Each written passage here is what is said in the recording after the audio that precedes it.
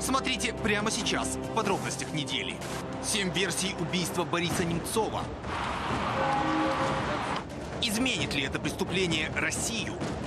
Дебальцево и Углегорск. Сегодня люди могут получить моющее средство и плед. Эксклюзивные кадры. Что там сейчас происходит? Ты извини, ты мне внучок говорит, котенку. За линией фронта работает Андрей Лащ. Обыкновенный терроризм. Откуда вирус проникает в нашу страну? Вот по таким тропкам, которых нет на карте, контрабандисты и вывозят оружие из зоны АТО. Худой мир после доброй ссоры. Война завершилась мирным соглашением. По его условиям Босния стала федерацией. А если в Украину придут миротворцы? Посол Соединенных Штатов. Путин может прекратить войну одним звонком. Эксклюзивное интервью подробностям недели. Грозит ли нам крах государственного масштаба? Их это катастрофа. Бизнес, можно сказать, просто стал. Честно о главном. Прямой эфир и откровенный разговор. Прямо сейчас.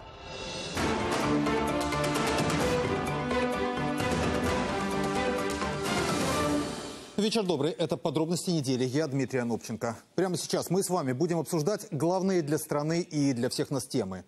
Ну, конечно, всех волнует, что будет с гривной. Даст ли МВФ кредит? Сможет ли Верховная Рада принять те законы, которых требуют от Украины? Ведь в коалиции уже разлад.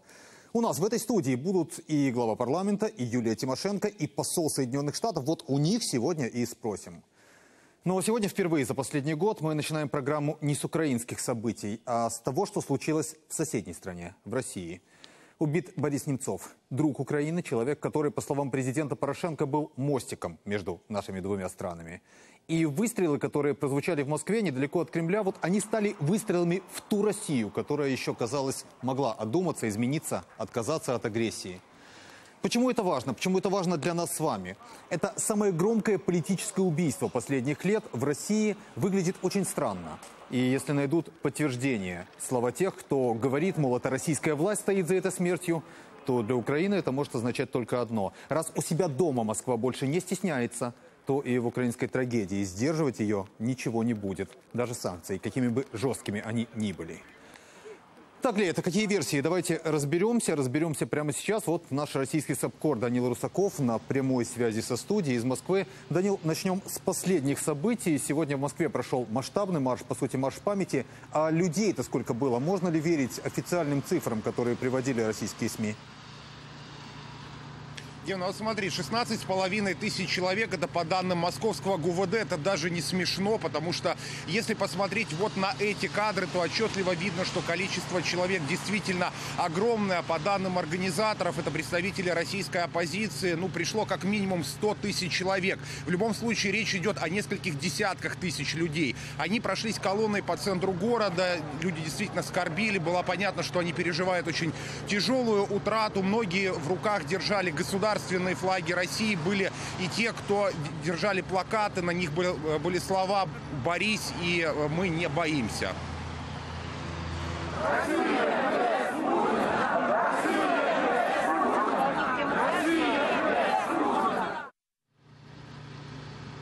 Для многих произошедшее действительно стало настоящим шоком. Я опять-таки повторюсь, и событие, которое произошло два дня назад, сплотило практически ну, весомую часть российской оппозиции, если даже не всю. Вот посмотрите, характерный пример на марш памяти Бориса Немцова пришли даже представители российских националистов. В руках они держали свои традиционные желто-бело-черные флаги.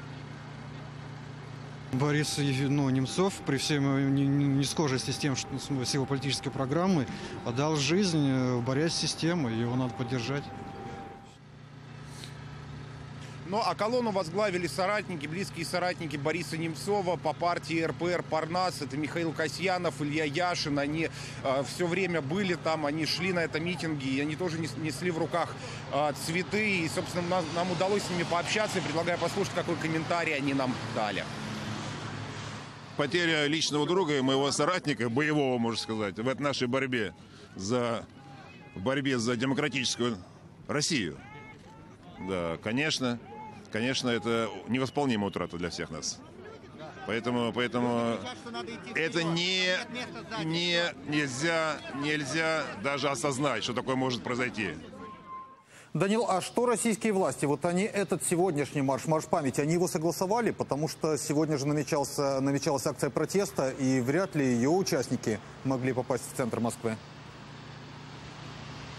Да, действительно, Дима, это удивительно, но акцию московские власти согласовали. Они ее согласовали буквально за несколько, можно сказать, часов до того, как она произошла. И э, было предоставлено место, собственно, место в центре, в самом центре Москвы. Люди прошли в нескольких метрах от Кремля. Такого прежде на оппозиционных акциях действительно мы не видели. И что интересно, действительно, на э, сегодняшний день и так была запланирована другая а, оппозиционная акция. Она должна была пройти в одном из спальных районов Москвы. Называлась «Антикризисный марш «Весна». Должна была называться. И Борис Немцов собирался принять в ней участие. Однако э, в последний момент было принято решение о том, что формат акции будет перенесен. Это будет акция памяти. И э, политическое мероприятие будет проведено позже. По крайней мере, так говорят представители российской оппозиции. Но, собственно, э, люди сегодня, когда проходили мимо того места, где Бориса Немцова не стало, два дня назад возлагали цветы. И известно, что, по крайней мере, вот сейчас, к этой минуте, что политика убил неизвестный киллер из белой машины. Он, как минимум, выпустил в него четыре смертельные пули, то есть те пули, которые причинили смерть. Одна прошла в голову, другая в сердце, еще одна в желудок и печень. И действительно это очень необычное событие для России, так мягко скажем, потому что что-то подобное могло происходить, наверное, только во времена 90-х. А, и последние 10 лет э, такого просто люди, жители главного города России не видели. Данил, ну самый главный вопрос у всех, кто нас сейчас смотрит. Какие версии, какие версии отрабатывает следствие? А, ну, на самом деле, об убийцах по прошествии практически вот двух уже дней неизвестно ничего. Версий много, они конспирологические. В частности, так, например, говорится о том, что это могли сделать некие радикальные исламисты. Вспомнили, конечно же, и а, украинских националистов, правый сектор, на него так намекнули. Ну уж куда уж без него, понятно. А, что-то конкретное, что-то внятное неизвестно. По, буквально через несколько часов после того, как тело Бориса Немцова а, забрали в морг судебные, а, судебно-медицинские эксперты, сообщали российские СМИ, что была якобы найдена машина убийц, однако потом выяснилось, что это тоже не она. Единственное, что сейчас можно доподлинно точно сказать, это то, что дело передали в Главное следственное управление Следственного комитета. И совершенно определенно, если тех людей, которые совершили это преступление, задержат, то арестовывать их будет скандально известный басманный суд. Ну, Бог с ним, со Следственным комитетом. У него репутация неоднозначная. А соратники, близкие э, Бориса Немцова, что они говорят, что они подозревают, какие у них версии? Но на самом деле очень много разных версий. Вот в частности, все ждут того момента, когда показания, скажем, возможного единственного свидетеля, девушки, которая была рядом с Борисом Немцовым в тот момент, я напомню, она гражданка Украины, а, каким-то образом будут а, известны. Дело в том, что она сейчас находится под усиленной охраной, ей практически, как сообщается, запрещается просто даже передвигаться, и она планирует после того, как а, все эти следственные действия закончатся, уехать в Киев. А что а, относительно а, предположений, которые строят соратники по политической части э, Бориса Немцова туда, известно как минимум, что за несколько дней до его трагического вот этой, этой кончины, этого убийства, он собирался заняться серьезной работой. Она связана, кстати, с Украиной. А, Борис Немцов собирался поехать и встретиться с семьей семьями а, погибших российских военных на Донбассе. В частности, предполагалось, что будет такая вот командировка в Иваново. Однако а, понятно, что ее уже не будет, она не произойдет. А, в общем-то, это одна из версий, которую считают многие достаточно весомой. Дима. Ну вот об украинском следе, в том числе даже и о возможном украинском следе, в том числе и президент Порошенко говорил. Я знаю, что рядом с тобой должен быть э, друг Бориса Немцова, Илья Яшин. Если можно, давай передадим ему слово. Спасибо, коллега, за работу. Илья. А, здравствуйте, спасибо Здравствуйте. огромное, что вы к нам присоединились. Я знаю, как вам тяжело. Если б мог, я вот просто подошел бы, пожал бы вам руку. Ну, мои слова соболезнования, я знаю, что вам очень сложно, и в том числе сложно говорить. Спасибо за то, что вы с нами в прямом эфире. Скажите, а в современной России это преступление в принципе может быть раскрыто? Я очень надеюсь, искренне верен и более того, я убежден, что рано или поздно исполнители, главное заказчики этого преступления, обязательно окажется на скамье подсудимых и за решеткой. Но, откровенно говоря, с трудом верится в то, что это произойдет до тех пор, пока в России не сменится власть. У меня нет никакой уверенности в том, что российская власть заинтересована в объективном, настоящем расследовании убийства моего товарища. А, Нас, конечно, очень неприятно поразило, что расследование по горячим следам не дало практически никаких результатов, несмотря на то, что э, Бориса застрелили, наверное, в самом охраняемом месте нашей страны, буквально в 100 метрах от Кремля, где каждый сантиметр просматривается камерами видеонаблюдения. Убийцы беспрепятственно покинули место события. И до сих пор мало что известно, мало какие подробности известны. Однако я уверен, что рано или поздно придет момент, когда эти люди окажутся на скамье подсудимых и понесут заслуженное наказание. Илья, скажите, что вы думаете, что вы предполагаете, какова ваша версия? Потому что, ну, то, что здесь в Украине обсуждают, что в частности гибель э, Бориса Немцова могла быть связана и с его желанием разобраться в украинских событиях.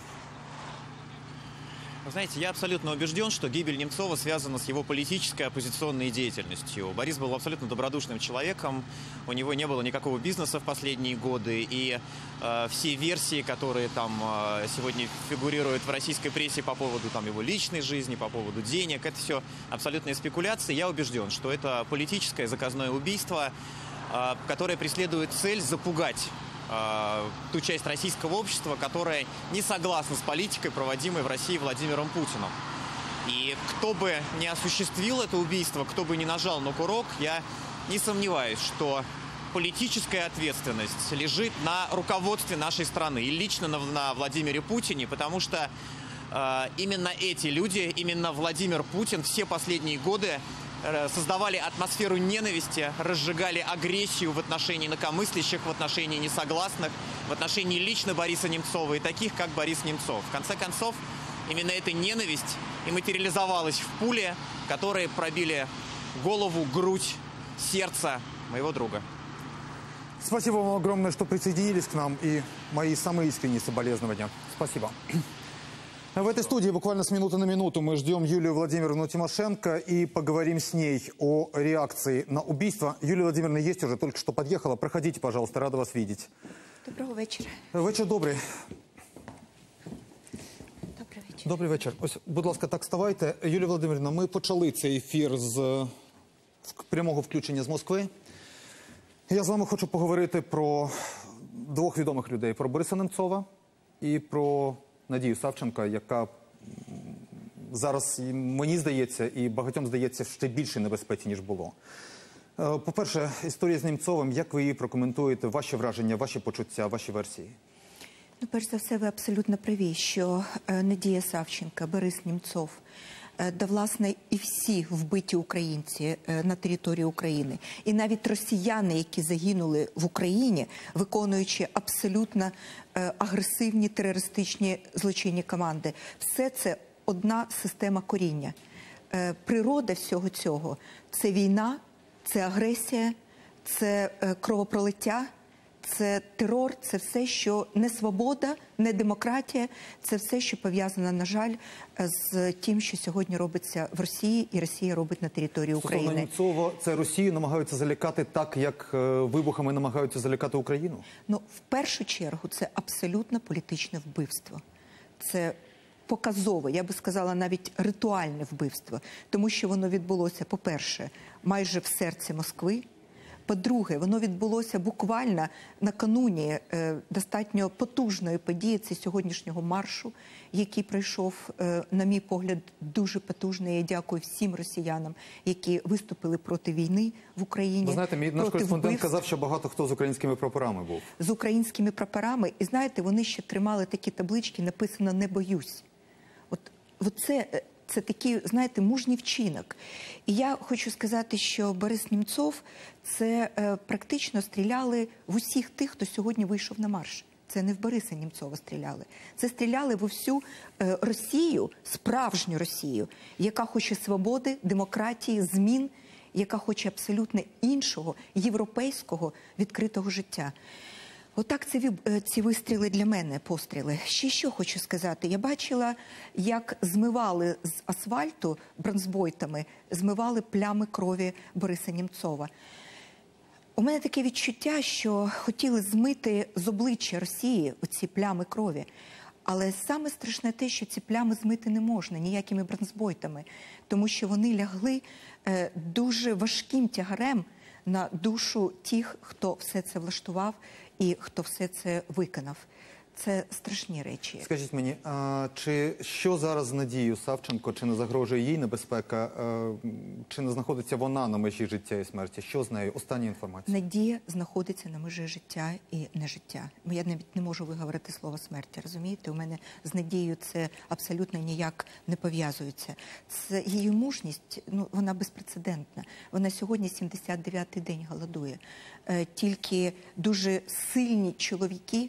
Е, Вони проходили такий шлях. Були такі випадки, коли доголодовували до сотого дня і більше. Е, Але багато хто не доживав навіть до 70-го дня. Вона на межі життя.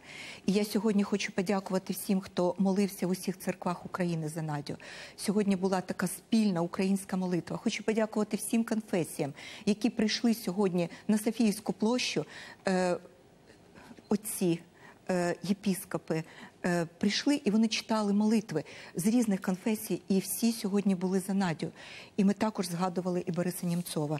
Але вже до вечора нам стало відомо, що Олексія Гончаренка, нашого депутата Верховної Ради, просто схопили в Москві без будь-яких пояснень, і зараз він також за гратами. Выбачьте, я просто глядачам поясню. Я хотел зрителям сказать, это история, за которой мы с вами вместе будем следить весь этот эфир. Алексей Гончаренко, Народный депутат из Одессы, э, заместитель главы э, фракции э, партии Петра Порошенко, и в том числе тоже член делегации в Парламентской ассамблее Совета Европы, задержан в Москве. Вот в эти минуты мы пытаемся связаться с украинским МИДом, мы пытаемся связаться с ним, его телефон отключен.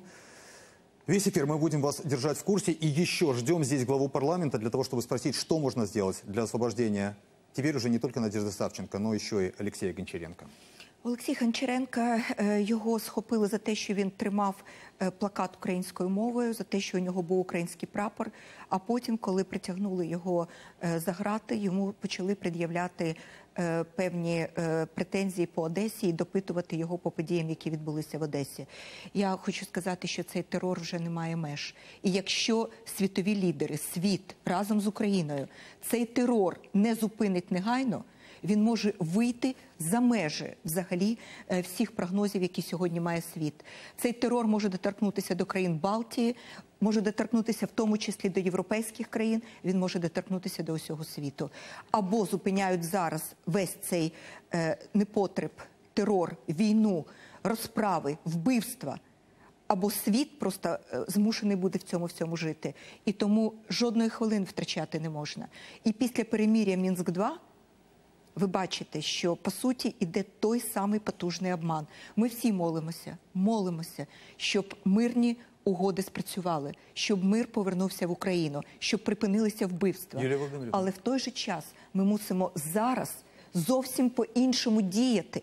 Ми мусимо готуватися до будь-якого Юлія обману. Володимирівна, я буду готовий з вами про це поговорити. У нас навіть сюжет є з лінії фронту, навіть його за лінією фронту знімали. І я просто хотів зараз сказати, і це важливий меседж, що є фронт, на якому гинуть наші солдати. Є фронт дипломатичний. Там є поразки, там є перемоги, але є фронт внутрішній, в тому числі фронт економічний. І він, ну багато хто забуває, що він не менш важливий. І ось дивіться, рік у уряду Арсенія Яценюка. Ну, прошел год, как Арсений Яценюк занял кабинет на Грушевского, возглавив правительство. Ну, наверняка эта дата, это повод подвести итоги. Сам премьер сделал это в пятницу На встрече с журналистами в Кабмине. Вот я тоже лично там был, и чтобы и увидев ситуацию из- изнутри, могу сказать, что Арсений Яценюк этим годом доволен. Упреки в том, что доллар вырос, вырос до небес, премьер переадресовал Нацбанку на слова об отсутствии видимых реформ. Сказал, мол, реформ за год провели достаточно, просто их итоги украинцы почувствуют только при новом премьере. Ну, без указания сроков, когда это будет. Ну а вот журналисты. Жур- журналисты далеко не так оптимистичны. Э, В сегодняшнем номере, пожалуй, самой авторитетной украинской газеты «Зеркало недели», ну вот вышел в киоск, купил его перед эфиром. Ситуацию описывают так. Обещания вместо реформ на фоне стремительного падения гривни уже не воспринимаются обществом. Его реакция может быть довольно жесткой, поскольку состояние экономики и банковской системы наихудшее по сравнению не только с Восточной Европой, но и со странами бывшего Советского Союза. Объяснить это чем-то иным, кроме ошибочной политики всех трех вестей власти на протяжении многих лет, просто невозможно. Е, Юлія Володимирівна, а ви як людина, яка очолювала уряд, е, як е, з одного боку політик, який зараз є в коаліції і начебто має підтримувати все, що відбувається в коаліції, з іншого боку, як політик, який не може мовчати. Як ви оцінюєте цей рік? Знаєте, тут зараз не політики мусять оцінювати. От я була нещодавно на Шустер Live, і я привела приклад, який мені здається, ну от б'є в саме серце кожного з нас. Е, Мені просто розповіли, як жінка е, в магазині купувала своїй дитині цукерки і попросила е, продавщицю зважити дві цукерки. Коли її запитали, що трохи більше там цих цукерок поклали, вона сказала, я за більше заплатити не можу. Сьогодні пусті аптеки. І не тому, що людям не потрібна медична допомога, а тому, що у людей немає жодної копійки купити собі ліки. Ви знаєте, я думаю, що про реформи мусять говорити не політики, мусять говорити люди. Або люди дають оцінку позитивну, або е, люди е, просто ем, голосують іноді і ногами проти уряду, проти парламенту, проти всього, що відбувається, коли приходять до е, Верховної Ради, до уряду, до президента і просто говорять, що вони більше не можуть жити так. Вони не можуть жити. І можу вам сказати, що сьогодні дійсно війна. Велику біду принесла в Україну, і вона впливає і на на фінанси, намагаються все списати. і на економіку воно впливає. Але я хочу запитати, як впливає війна на те, що, наприклад, виходить екс-генеральний прокурор і говорить з трибуни Верховної Ради, що, наприклад, НАК Нафтогаз України близько трьох мільярдів гривень практично через корупцію злито. Три мільярди. Три міль... Це цифри з цитат стенограми виступу екс-генерального прокурора в Верховній Раді. Або, наприклад, енергоатом розкрадання державного майна на суму 166 мільйонів гривень і встановлено неефективне використання державних коштів близько 3 мільярдів гривень. Я хочу, я хочу запитати, це війна? Це війна, коли сьогодні з наших підприємців беруть хабарі по всій країні. Це війна, коли, наприклад, обговорюються зараз зміни до бюджету, що треба останні копійки забрати у пенсіонерів. Це сьогодні от була нарада. Хочуть 15% е, зняти з е, пенсій працюючих пенсіонерів. Але в той же час тут же хочуть проголосувати е, підвищення заробітних плат в корпораціях, монополіях, чиновникам. Це війна? Ні, це не війна. Це абсолютно, на мій погляд, недопустимі кроки. І те, що гривня впала в чотири рази, це не економічні підстави і це не війна. Це абсолютно неправильний курс, який треба негайно міняти. І ми, як невелика фракція в парламенті, ми намагаємося це зробити. Коли сьогодні нам запропонували, от я просто щойно з наради, розумієте, нам запропонували, наприклад, щоб зекономити бюджетні гроші, не тільки на 15% знизити е, доходи працюючих пенсіонерів, а нам ще запропонували для жінок підвищити на 5 років пенсійний вік для пільгових категорій. Знаєте, от там, де жінка ну, гірше за всього працювала, от дояркам, наприклад, да? там е, водіям міського транспорту, От там іншим. Да? От там збільшити пенсійний вік на 5 років. Чому? Я питаю. Це жодної копійки не дає до бюджету. Що за знущання над людьми? Або, наприклад, вони хочуть обчислювати е, пенсії вже сьогодні по рівню заробітної плати 2012 року. Хто дав право? Хто дав право сьогодні е, обкладати пенсіонерів податками, При тому, забирати з освіти ще 300 мільйонів, з освіти забирати. В той час, коли для монополії зберігаються просто баснословні пільги. Для великих, е, ну я би сказала, таких монопольних утворень залишаються безпрецедентно пільгові податки, де вони можуть ухилятися. Як можна підвищувати в 3-4 рази тарифи, якщо проаналізовано спеціальною комісією, що 40% в тарифах це корупція? Це що, війна? Ні, це не війна. Юлія Володимирівна, давайте я так зроблю. У нас буде друга година, яка почнеться о 9 Тут буде глава парламенту. Ми з ним якраз будемо говорити про бюджет. Я вас дуже прошу, лишіть мені ці слайди. Я все просто вам лишу. поставлю ці Так, питання. абсолютно. А з вами я ще хотів поговорити про війну. Війну вже не економічну, війну реальну. І е, зробимо це після сюжету. Я скажу чесно, ми дуже довго колебались, вот делать ли следующий материал, чи робити наступний матеріал.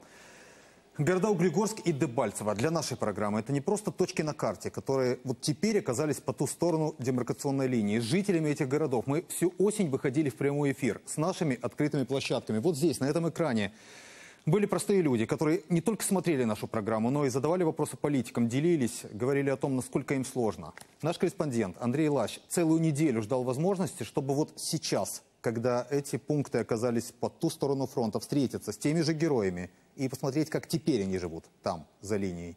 Эксклюзивный материал далее.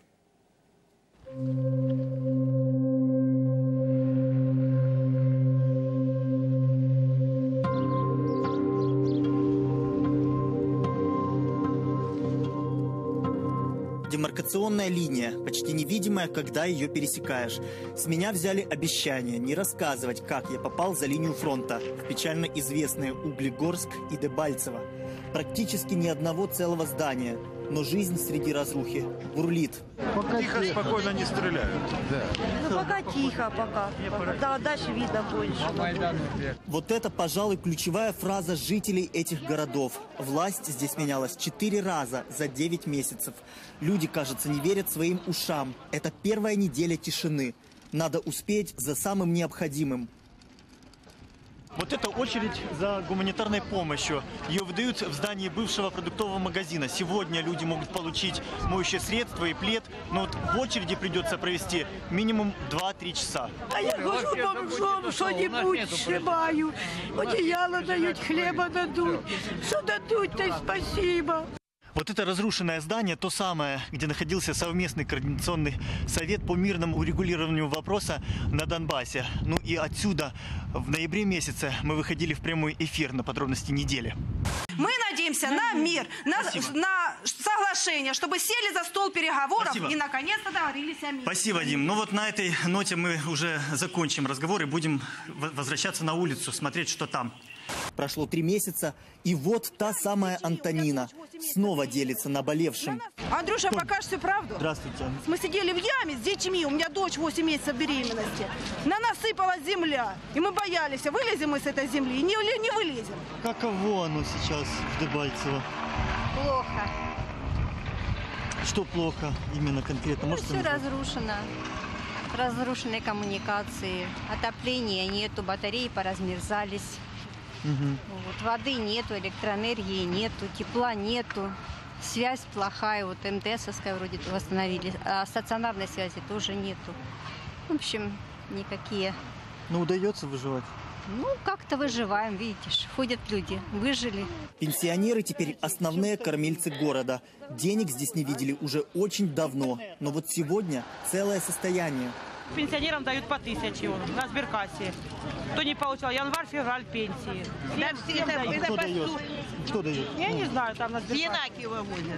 Очередь из голодных, испуганных людей в передвижную лавку возникает молниеносно. Продавцы сочувствуют, взвешивают даже чуть больше оплаченного. Кровяночки кусочек? Небольшую, да. Небольшую кровяночку? А? Кровяночку вам? Да. Хорошо. Питаются пока в сухомятку. Варить-то не на чем. А воду на где-то худ- раздают? А? Воду раздают или, или как? Нет, тоже там то качают, то, то гремит, то, то там по соседству с нашим домом казенным по Ленина. И то ходим туда, водичку набираем. А та, что в квартирах была, померзла. В окна ж побитые, а моро- морозы были. Местные подростки организовывают на улицах пункты горячего питания. Вооружившись картонкой и раздобыв дровишек, вот такие бравые ребята помогают жителям не замерзнуть, выпив чаю, ну и можно также отведать каши. Последняя мина. Мину кинули. И он в крышу попала, и она свалилась. Дети войны, кажется, лучше взрослых разбираются в разновидностях боеприпасов и направлении стрельбы. Ведь в такие дни они очень быстро становятся взрослыми.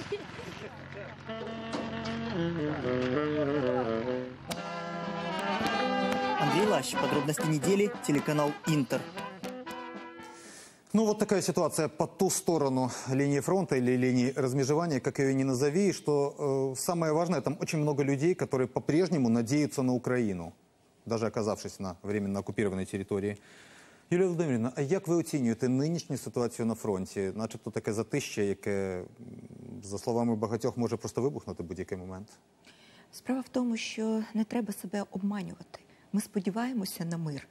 Ми хочемо миру. Ми сподіваємося, що мир буде встановлений після цих мінських других переговорів, але ні в якому випадку не можна розслабитись не на хвилину. Нам треба бути сильними в переговорах. Переговори потрібні, але вони потрібні тоді, коли відчуваємо ми силу і всього світу, і свою особисту, як України. Я вірю в перемогу, але оцей час нам треба використати для того, щоб негайно групи високого рівня від України були направлені в ті країни, які можуть поставити Україні високотехнологічну зброю. Треба завжди пам'ятати, що Путін пішов на другі переговори в мінську лише після того, як Сполучені Штати заявили, що поставлять Україні високотехнологічну зброю. Нам треба ставати сильними, і не можна тільки покладатися на цю от паузу, яка у нас зараз є. Крім того, нам потрібно сьогодні піднімати нашу військово-промислову е, військово-промисловий комплекс, тому що стоять заводи, не виробляють. Наприклад, Південмаш в Дніпропетровській області, Дніпровський машинобудівний завод в Дніпропетровській області, всі стоять. Те, що могло б працювати на оборону. Абсолютно. І так більшість заводів по всій країні. Нам потрібно, по-перше, е, зброю. По-друге, нам потрібно не припиняти переговори і намагатися йти в сторону НАТО, тому що там наш справжній захист. І третє, нам потрібно піднімати ВПК, потрібно піднімати економіку на ноги. І тому внутрішній фронт, який пов'язаний з падінням гривні, з абсолютно безграмотною економічною політикою, треба якраз припиняти цей другий наш фронт. Перемога буде, але вона нам буде даватися тільки з позиції сили. Ну, дякую вам. Дуже важливо. Э, Действительно, очень важно, чтобы вот э, тот год, который мы потеряли, не проведя реформы, об этом многие говорят. Я хочу проанонсировать, мы будем говорить сегодня именно об этом с послом Соединенных Штатов в Украине. Он говорит об этом абсолютно откровенно. Чтобы год, который мы потеряли, не проведя реформы, вот чтобы сейчас, сегодняшний год, год новый, мы не потеряли, не подготовившись к возможному обострению. Об этом мы говорили с Юлией Владимировной Тимошенко. Спасибо огромное, что были у нас в студии. До побачення на все добре. Ну и от событий на фронте. Давайте перейдем к угрозам, которые существуют для жителей мирных городов. Харьков. Всю неделю там идет масштабное расследование после теракта, который унес жизни четырех человек. Двое погибли при взрыве и двое погибли в больнице. И вот сейчас, сейчас самое важное не только разобраться, кто и почему взрывал Харьков, но и сделать так, чтобы взрывов в украинских городах больше не было. Ведь сейчас страна буквально наводнена оружием. Что удалось выяснить в Харькове? Давайте узнаем прямо сейчас. А Мы ждем буквально с минуты на минуту на прямой связи из Харькова Антона Геращенко, советника министра э, внутренних дел. Ну, а пока что связь с ним налаживают. Давайте посмотрим сюжет. Лидия Калинина, наш харьковский корреспондент, разбиралась. А что же все-таки происходило всю эту неделю в Харькове и как проходит следствие?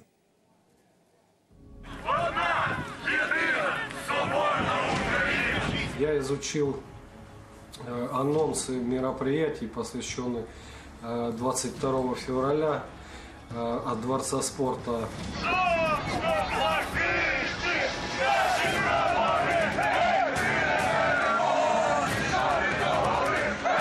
После получения от своего э, сообщника информации о том, что э, колонна пошла, я привел в действие взрывное устройство.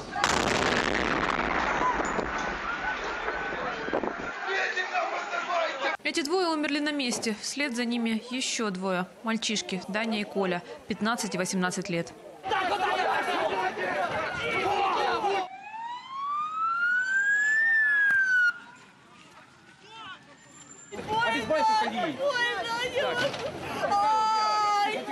И отчитался в этот же день перед своим куратором, что задание выполнено.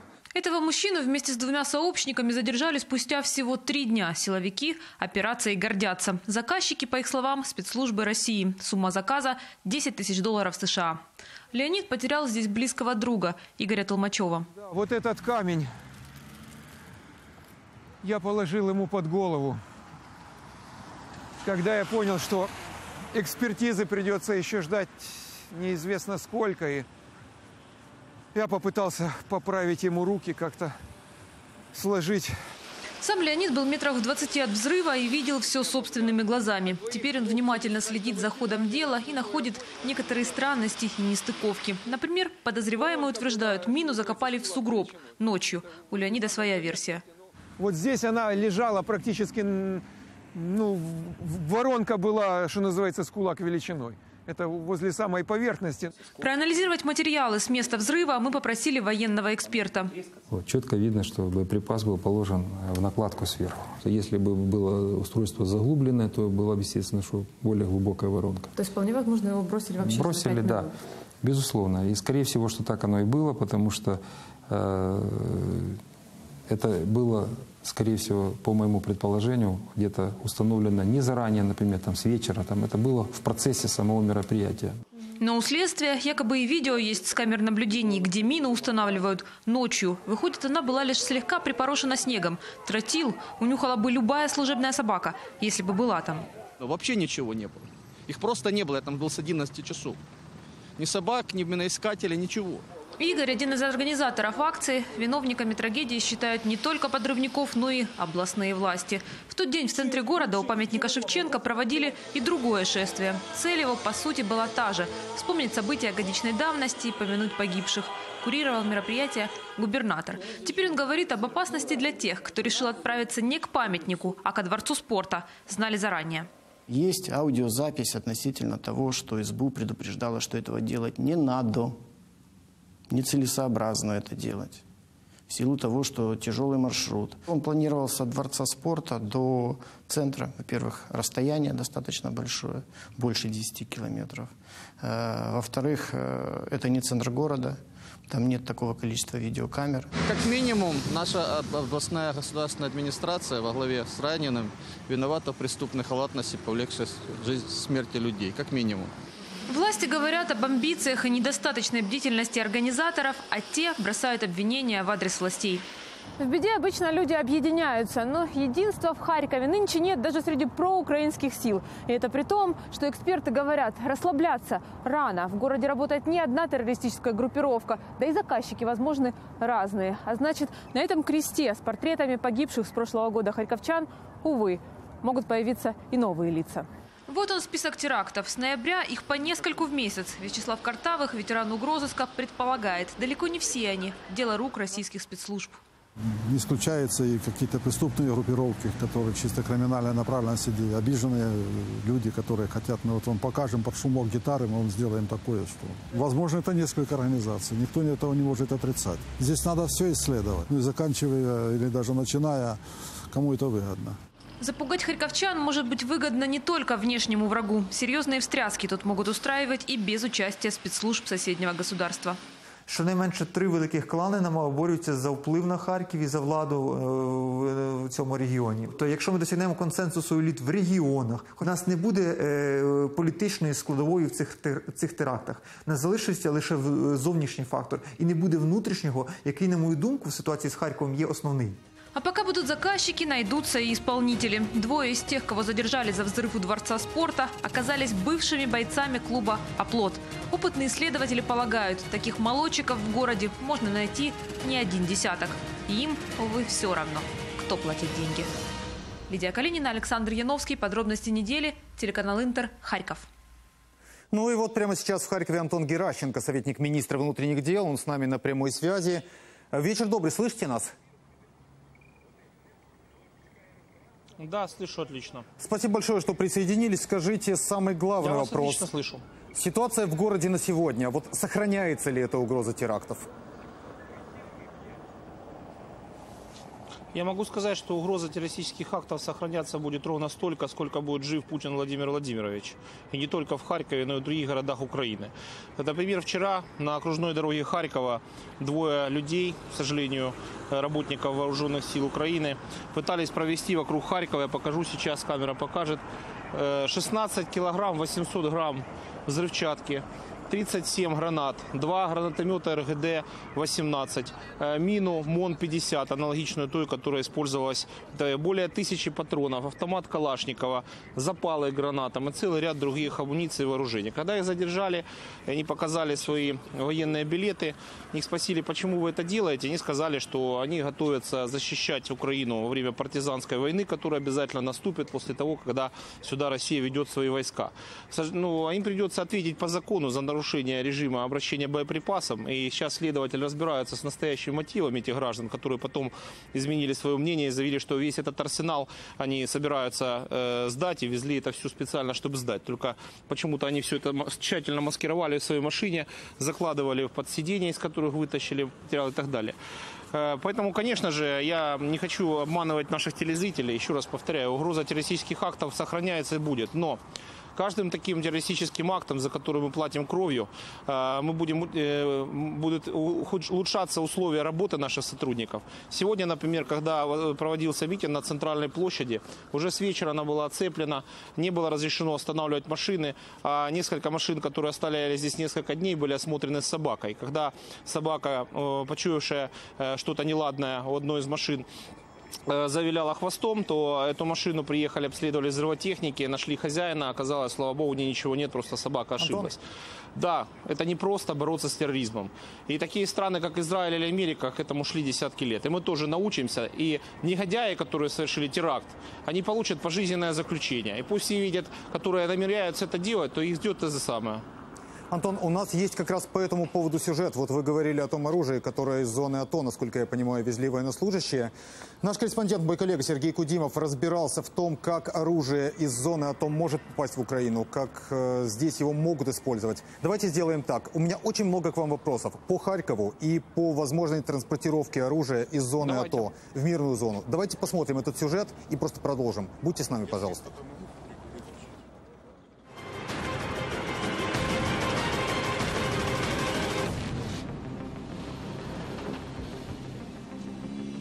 Активизировалась работа разведывательно-диверсионных групп.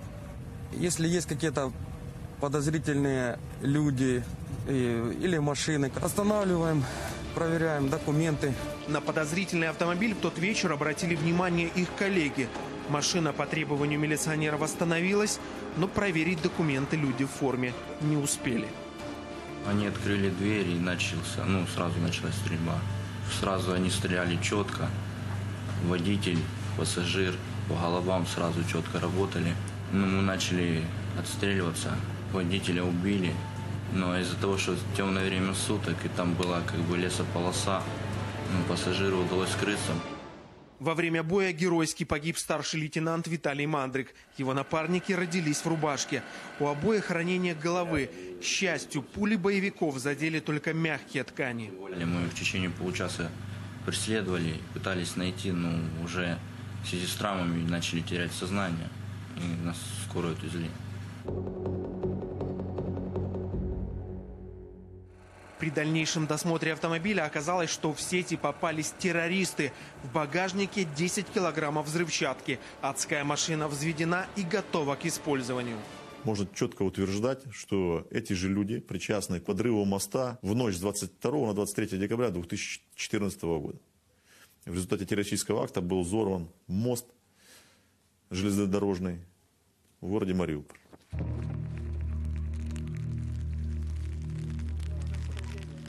Оба террориста – жители Мариуполя. По данным милиции, завербованы в Донецке, прошли курс тренировок в Ростовской области. По горячим следам удалось задержать их пособника. Один из э, заведующих лабораторий учебного заведения, которое расположено в городе Мариуполе, попросил устройство, которое от слабого сигнала, ну, грубо говоря, запускает сильный. Предложил, сказал, неограниченные финансы, давай по-быстрому, три дня. Мне было страшно, потому что мог меня убить. Оружие и боеприпасы из зоны АТО вытекают ручейками и устремляются в мирные города. На этом блокпосту буквально перед нами задержали человека, который пытался вывести гранатометы. Было определенное количество оружия в багажнике, остальное под сидениями. Э, Вероятнее всего, просто человек надеялся проскочить. Но сейчас в нынешнее время у нас горячая точка Широкина. Э, Саханка. И вот с этой стороны люди заходят в Мариуполь. Здесь э, пытаемся на блокпостах их удерживать, но есть поля, э, есть те местные дороги, которые, допустим, знает только местное население. Земляные валы на дороге – привычная картинка в зоне АТО. Они должны воспрепятствовать движению по путям, которые не контролируют украинские военные и милиция. Но преграда достаточно условная. Людмила Викторовна показывает, как можно запросто объехать это препятствие по полю. Аккуратнее. Хлопцы, ну, а вот еще, смотри, чтобы тут вот мы дном не сели. Вы знаете, что автомат у нас по телевизору была передача, можно вообще в редикуле в женском пронести в разобранном виде. Этих дорог нет на карте, но именно по таким тропкам контрабандисты незаконно вывозят оружие из зоны АТО.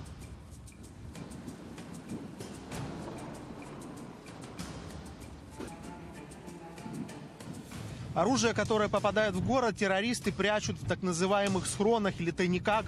Найти их непросто, ведь это может быть э, обыкновенный подвал или чердак в многоэтажке, либо же заброшенная стройка. Мы сейчас едем в один из таких схронов, которые нашли совсем недавно.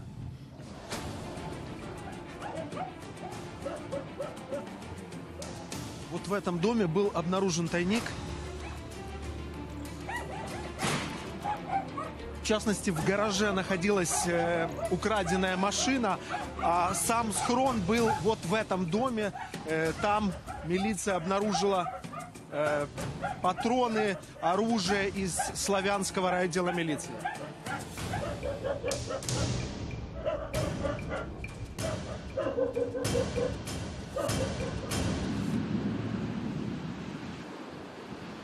Скоро у террористов появится еще одна тропка. Лед на Азовском море практически растаял, штормы стихают. Сергей Кудимов, Марьяна Бурякова, Евгений Каминский, Вадим Свиридонов. Подробности недели. Телеканал «Интер». Я напомню, Антон Геращенко, советник министра внутренних дел, народный депутат, с нами на прямой связи из Харькова. Антон, скажите, ну вот мы посмотрели, наш корреспондент буквально перед тем, как он приехал на одну из застав, Ребят нашли гранатомет, который пытались из зоны АТО вывести просто под сиденьем. Э, как много неучтенного оружия оказалось в нашей стране за время этой войны? И начнут ли из него стрелять только теперь уже в мирных городах? Ну, вы знаете, Ну, ключевое слово в вашем вопросе – это неучтенное оружие. Именно потому, что оно неучтенное, поэтому э, оценить его масштабы точно нельзя. Я вам привел пример, то, что вчера изъяли в Харькове. 16,8 килограмма тротиловых шашек. Этого достаточно для организации 16 террористических актов, серьезных и так далее. Я могу сказать следующее. Уважаемые граждане, которые меня сейчас видят, пожалуйста, когда вас останавливают на блокпостах, предъявляйте ваши документы, помогайте сотрудникам милиции, не хамите им. Они защищают спокойствие всей остальной страны. Показывайте, что у вас находится в багажниках и помогайте им таким образом. Не надо конфликтовать. Мы только вместе, объединив усилия правоохранительных органов и граждан, сможем победить эту страшную угрозу терроризма. Коллеги аппаратные, у меня есть еще время на вопросы к гостю? Антон, я хотел вернуться к главной теме, к э, теме взрыва в Харькове. Была официальная информация, в том числе об этом несколько дней назад говорил глава СБУ о том, что за этими преступлениями стоит Россия. Вы можете э, дать чуть больше информации? Какие данные, какие доказательства есть у вас? Какие доказательства и данные есть в МВД? Есть доказательства, подтверждающие факт того, что задержанные лица регулярно связывались с Российской Федерацией, выезжали для получения инструктажа в Белгород.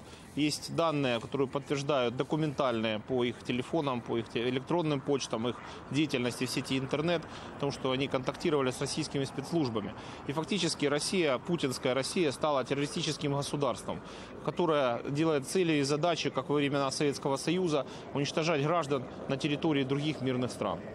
Скажите, а вот сами граждане, они помогают как-то бороться Я с надеюсь, терроризмом? что- да. Э, Я просто много лет прожил в Америке. Я знаю, что любая подозрительная сумка, Я любой подозрительный пакет, люди звонят. В Украине так ли сейчас? Вы знаете, я сегодня был на митинге э, Евро- Евромайдана в Харькове, который сегодня назвали «Защитим Харьков, поможем милиции». Уже сейчас люди окончательно поняли, что нужно прекратить вешать ярлыки на милицию, считать, что милиция, как во времена Януковича, э, делает плохо для народа. Сейчас люди уже начали понимать, видя, как погиб сотрудник милиции в Харькове, прикрыв своим телом митингующих, как погиб сотрудник милиции в Мариуполе, как сегодня сотрудники милиции, задерживая эту группу, везущую тротил, могли попасть под огонь. Слава богу, что они навели вовремя на мушку на этих ребят, и там перестрелки не получилось. И поэтому сейчас общество начинает понимать, что нужно объединяться с государственными органами, с органами правопорядка. Я благодарен всем э, харьковчанам и всем жителям Украины, кто помогает милиции, кто помогает службе безопасности. И если вы видите какое-либо странное действие, какой-либо оставленный пакет или сумка, звоните, пожалуйста, на 102. И, кстати, сегодня на митинге харьковчане говорили, давайте сделаем в СБУ тоже короткий номер, например, там 107 или 108, чтобы людям не надо было искать на сайтах какие-то телефоны горячих линий. Вы это тоже сделать в автоматическом режиме. И это разумно, я сделаю такое официальное предложение главе СБУ. Спасибо большое. Антон Геращенко был с нами на связи, советник министра внутренних дел из Харькова. У меня был к нему еще один вопрос о судьбе Алексея Гончаренко. Помните, мы говорили об этом в начале эфира. Народный депутат, одессит, э, задержан в Москве во время э, марша, в марша памяти Бориса Немцова. Мы сегодня обязательно поговорим об этом с главой парламента буквально через 10 минут. Господин Гройсман будет в этой студии. Но вот только что мне в студию принесли экстренную новость, что есть пока что на данный момент неподтвержденная информация, что Алексей может быть освобожден. Мы пытаемся с ним связаться, вот буквально в эти минуты набираем его на мобильный телефон. Что происходит с Гончаренко? Что происходит с бюджетом? И что происходит с долларом? А также как нам помогут Соединенные Штаты? Что обещают и за что критикуют? Все это через 7 минут рекламы. Дождитесь.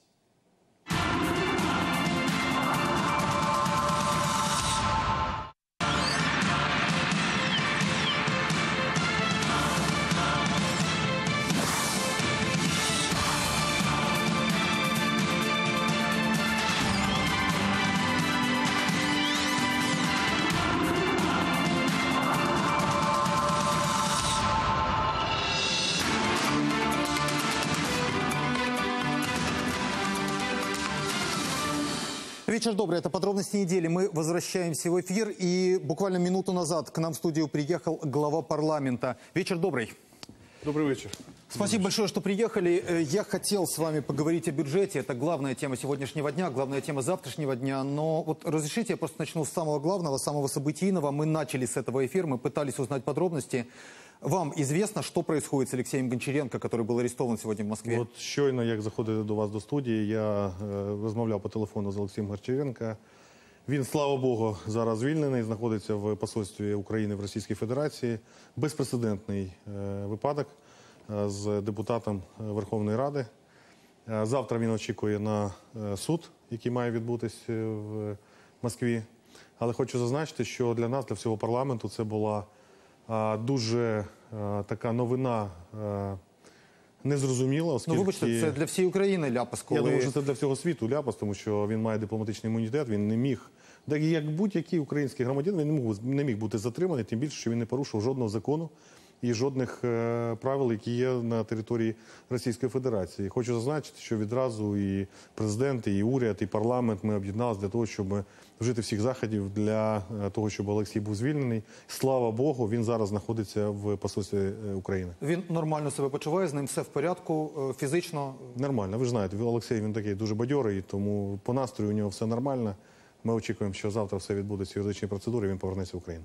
Добре, якщо ми вже почали про російські події говорити, я можу попросити ваш коментар щодо вбивства Бориса Немцова. Як ви це сприйняли особисто і ну, взагалі, що відбувається в Росії? Величезний, величезна біль, оскільки в будь-якому випадку вбивати е, людину а це є е, злочин проти не тільки цієї особи, а проти людства. Ну, ми бачимо, що сьогодні відбувається в, на українських землях на території Донецької, Луганської областей. І те, що відбулося в Росії, це, а, я думаю, що е, ознака, ознака режиму. Не можуть на вулицях вбивати людей, особливо таких, як був Борис Немцов, як його е, називають. Це великий друг України і великий патріот Росії. Президент сказав міст між Україною і Росією. Я в цьому навіть не маю жодного сумніву. Це варварство, це вбивство, яке має бути покарано. І в мене немає жодної оцінки. Я це сприймаю як е, особисту втрату, я думаю, як і е, вся більшість людства, які сповідують е, абсолютно нормальні цінності. Дякую. Давайте перейдемо до бюджету, до головної теми. Я вдячна вам, що ви приїхали, щоб про це поговорити. Я хочу зрителям сказать, что э, уже завтра парламент может внести изменения в бюджет. Ну, по крайней мере, об этом настойчиво просит правительство. Переговоры с комитетами и фракциями шли до позднего вечера. Э, как сказал Арсений Яценюк, чтобы согласовать все технические моменты и завтра быстро проголосовать. Вот это была цитата. Но вот только вопрос, а можно ли и удастся ли проголосовать быстро? Дело в том, что только сегодня на Совете коалиции, который начался в 2 часа дня и закончился буквально час назад, Были там и премьер, и глава парламента, который сейчас у нас в студии, э, внесли 107 листов поправок. Ну, премьер, тем не менее, настаивает, голоса нужны, нужны уже завтра, мол, изменения согласованы и с МВФ, и с внешними кредиторами. Главная тема этого часа, этого дня и, возможно, всей завтрашней недели, так примут ли бюджет и что за изменения готовит нам правительство? Давайте узнаем об этом прямо сейчас. Вибачте, ми телефоном маємо Олексія Гончаренка. Ми щойно дозвонилися. Е, Алексей, вы слышите нас? Да, здравствуйте, слышу вас. Здравствуйте. Спасибо, что вышли на связь. Мы волновались за вас. Мы начинали с этого программы, со многими говорили. Скажите, с вами все в порядке? С вами физически все в порядке? Как с вами обращались? И где вы сейчас? Я нахожусь в посольстве Украины в Москве, на, на нашей фактически родной земле. Ну, по поводу обращения, это варварство, то, что там происходило, это даже я не хочу сейчас говорить и обсуждать. То есть, если они мне так где-то пять часов даже врача не отказались, чтобы кто-то пришел. Но я очень благодарен нашему консулу и нашим адвокатам, которые вот помогают украинцам в Москве вот, за их помощь. И благодаря им я сейчас на свободе. Но ничего страшного, то есть это мелочь по сравнению с тем, что переживают наши ребята на Востоке. Так что Леш, Леш, подождите, вы говорили им, что вы народный депутат, что вы, у вас дипломатический иммунитет. Они понимали, что речь даже не просто об обычном украинце, что речь о члене парламента? Они прекрасно все понимали, они знали, кто я. Они все очень хорошо понимали. На мой дипломатический паспорт э, один из офицеров там его кинул и сказал, что это для у нас здесь в России это бумажка. Ну, ну, это совершенно варварская история. Они нарушили кодекс во всех его частях, какие только могут быть. Ко мне не допускали консула, ко мне так и не допустили, мы стояли 4 часа под участком. Ну, там, ну, безумие, просто безумие. И, и вообще непонятно, то есть я приехал, я просто знал Бориса Немцова не близко, но знал. И я не мог не приехать, не, не положить просто цветы на, на место, где его просто убили. Вот, и они даже это мне не дали сделать. Алексей, спасибо огромное. Последний вопрос. Я понимаю, что сейчас вам э, родные звонят. Я не буду занимать телефонную линию. Просто скажите, чего вы ожидаете от завтрашнего суда здесь, в Украине? Я очень надеюсь, мы все очень надеемся, что все будет в порядке. Но здесь в Украине были и опасения, что Россия может попытаться разыграть э, карту надежды Савченко, может попытаться там вменить вам не только участие в несанкционированной акции, хотя она была санкционирована, а еще какие-то обвинения предъявить. Ваши ощущения? Вот вы говорили со следователями, с полицией. Как будет дальше? Я уверен, я не могу сказать, но я уверен, честно говоря, что все будет хорошо. А что касается Надежды Савченко, я и был на эфире на Первом канале в декабре. Я им тогда сказал, что возьмите, отпустите девочку, арестуйте вот меня. То есть я в это, ну, то есть я не думаю, что это вообще, ну, то, что, понимаете, я вот сейчас э, там на своей шкуре испытал там этот день, а она это испытывает уже сколько месяцев, поэтому, ну, даже сравнивать там не хочу наши случаи, а то, что эти люди там способны нарушить все что угодно, ну, они показали, они способны это сделать. Но так не запугайте ни меня, ни кого. Я в этом не понимаю. Спасибо большое. Мы рады, что у вас все в порядке. Мы пытались с вашими домашними связываться. Они были в шоке, они были очень, э, очень расстроены, очень нервничали. Наберите их, пожалуйста, вот прямо сейчас. Я не знаю, смотрят ли они нас, наверное, смотрят. Если нет, то просто поговорите с ними. И спасибо огромное. Рада, что с вами все в порядке. Спасибо. Е, Як бачите, я сказав, що Олексій оптиміст і знаходиться зараз е, в посольстві. Я думаю, що завтра має все бути добре. І саме головне, що він є членом парламентської асамблеї Ради Європи, теж як і Надія Савченка. І це вже було би, знаєте, ну, повним нехтуванням взагалі всіх норм, які є міжнародних, в тому числі. Ви сказали про те, що він незвичайний українець. Олексій звичайний українець, але на даному етапі життя і політичному, в тому числі, є членом українського парламенту. Я думаю, що тоді, коли ми всі будемо усвідомлювати, що ми звичайні, українців. От тоді ми, у нас відбудеться, напевно, справжні зміни і е, ми зможемо себе реалізувати. Ну, ви знаєте, я що мав на увазі, коли прикордонник просто або там поліцейський бачить звичайний український паспорт синій там з гербом, то можливо він якось по-іншому реагує, ніж він бачить зелений паспорт дипломатичний. Якщо дипломатичний паспорт на нього не чхали, то це вже ставлення, це вже ну просто принципово знаєте, показове паспорт, от повірте, паспорт це папірець. Але от людина це є е, е, людина, яка має викликати Ну, будь-кого ми зараз з вами в цьому переконалися. На Історія Надії превеликий Савченко. жаль, на превеликий жаль, да, якийсь папірець може більше вартувати, ніж, е, ніж е, людина. І це є ознакою недемократичних режимів. Добре, дякую. Вибачте, що перебив вас, але просто е, життя сьогодні таке, що вона нам диктує верстку. Не ми там по сценарію йдемо, як ми, який мені роздрукували, весь час щось нове. Повертаємося до бюджету. Скажіть, будь ласка, ви були сьогодні на Раді коаліції. А, на Раді коаліції, ну скільки з другої, третя, четверта, п'ята, шоста, сьома, щонайменше п'ять годин. Е, Ламали списи, сперечалися. Як це відбувалося? Я не знаю, звідки цифра 107 сторінок. е, У мене Мгм. такої цифри не було поправок. Але є е, порядка півтора десятка Багато законів. поправок. Півтора десятку законів, які внесені урядом е, для виконання е, е, всіх необхідних е, е, завдань, які стоять перед нами, в тому числі і в рамках е, е, програми спів- співпраці з Міжнародним валютним фондом.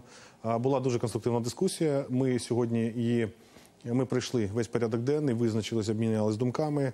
Завтра будуть відбуватися засідання комітетів, які врахують е, ці думки. А о 12 годині будуть е, систематизовані ці правки, передані. Ми буде ще одна нарада під моїм головуванням спільно з прем'єр-міністром. І о 16 годині ми вийдемо в зал для того, щоб проголосувати е, закони, які дозволять нам утримати чотирирічну програму МВФ і провести певні зміни, в тому числі.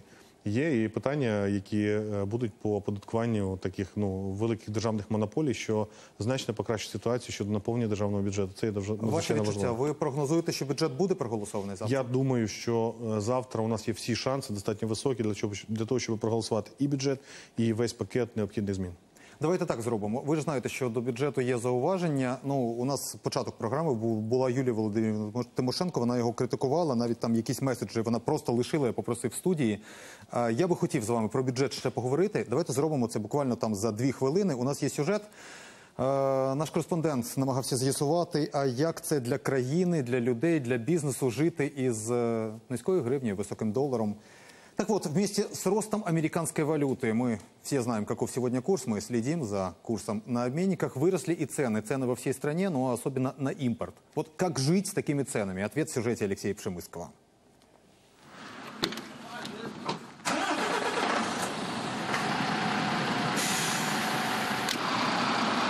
Два часа по карпатским ямам, и он в ЕС. Евгений ездит этим маршрутом уже 18 лет. Последнее время без спешки. Работы мало.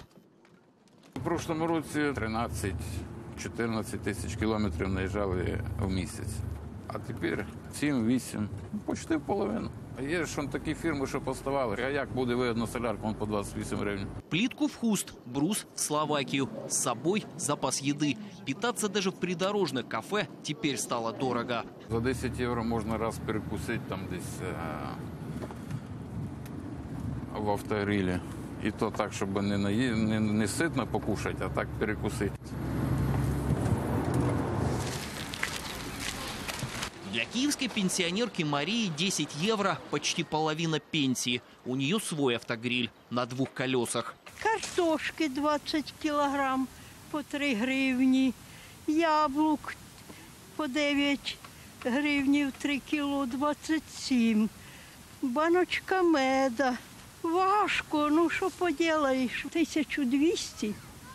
Якщо б діти не допомагали, це б зуби на полку, яких у мене нема. І все. 39 за доллар. Паника и лихорадка. Итог – пустые полки супермаркетов. Люди избавляются от гривны как-то. Ментально разбираю. Муку, сахар. Муку, сахар і олію. Найбільше.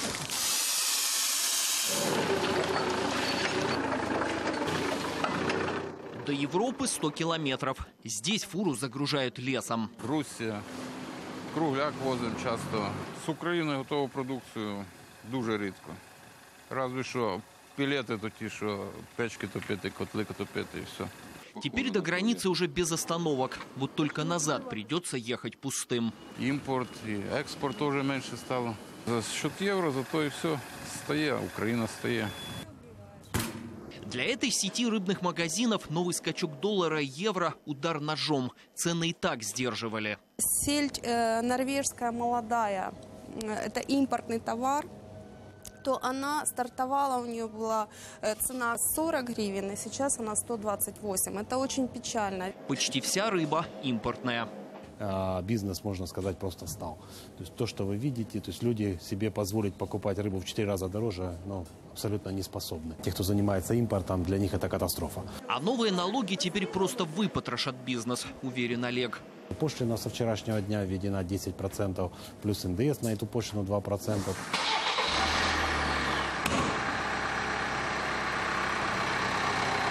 Шума двигателя в этом киевском автосалоне не слышали уже неделю. Клиентов просто нет. Да и с новыми ценами на железных коней перспектива неясная. Покупали ведь за доллары, а продавать за гривны.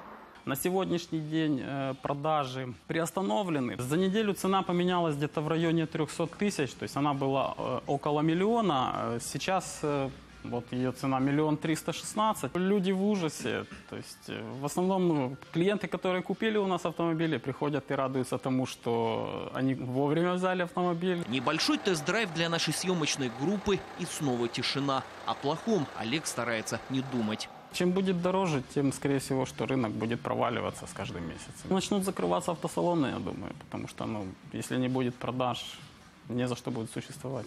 Три рази на день вам потрібно на скільки днів? Десь на 5 днів назначив лікар, так? Так. А це 15 пакетиків. 79,39. Гривні два було за пакетик. Зараз, якщо три пакети на 3 на 5, 15, 82 поділити на 15. Скільки виходить? 5? Они выживут без норвежской сельди и новых авто. Без лекарств навряд ли. 275, то підросла ціна. Набагато дорожче. Ніяк не можуть наїстися. Нема за що жити, ви розумієте? Їда дорога. Я не була вчора ніде, а нині дивлюся всюди по 6 по 8 хліб. Ну, і уявіть собі. А місяць треба чимось прожити, світло, газ заплатити. До границы всего пару километров. Где-то там, за горизонтом, за кордоном. И высокие пенсии, и годные зарплаты. Его фура будет там уже через пять минут. Но вот сколько придется туда идти Украине, ответа у Евгения нет. Там друге правительство, там вони по-другому живуть, там у них государство думає за народ. А у нас що, яке государство у нас думає за народ? У нас, якщо сам за себе не подумаєш, все. Хто за тебе подумає? Евгению думать не только о себе. Дома ждут жена и две дочери. Он часто размышляет о смене места жительства. По інтернету он, е, вроді робота є. Ну що туди українці приїдуть і соответственно зарплата у них менше. І нужны йому там. По-моєму, ні. А що тоді робити? Що робити? Треба піднімати ту Україну, щоб встраювати, що-то власть міняти, як-то що-то треба робити. Его фура обязательно пересечет границу дважды. Туда и назад. А жена дома приготовит свежий борщ для походного котелка.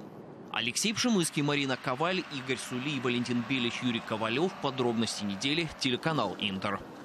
Это подробности недели. Мы в прямом эфире. Владимир Гройсман, глава парламента у нас в студии. Скажите, а вот что будет дальше? Доллар высокий. э, Многим э, экспортерам тяжело закупать э, при нынешних ценах. Там, ну, вот даже те же лекарства. Мы видели, что есть эти проблемы. Что сделать, как быть? Я хочу сказати перше, що насправді людям дуже важко сьогодні. Як важко від того, що відбувається зараз, як від, і від того, що як прогнозувати своє життя. Особливо людям і похилого віку.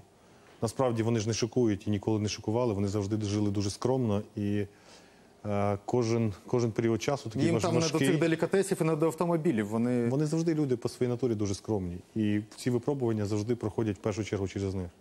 І тому зараз е, питання полягає в наступному. Для того, щоб стабілізувати ситуацію, нам треба отримати транш. Для того, щоб отримати транш, нам потрібно провести зміни, які дозволять оптимізувати видатки.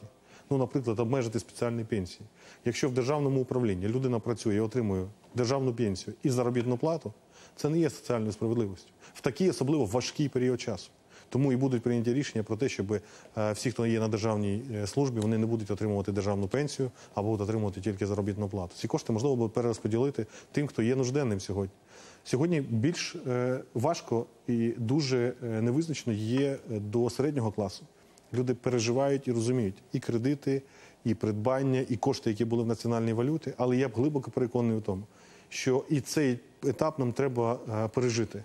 Ми стабілізується ситуація, проголосуємо закони, відбудеться засідання Ради, е, валют... Національної Ради валютного фонду.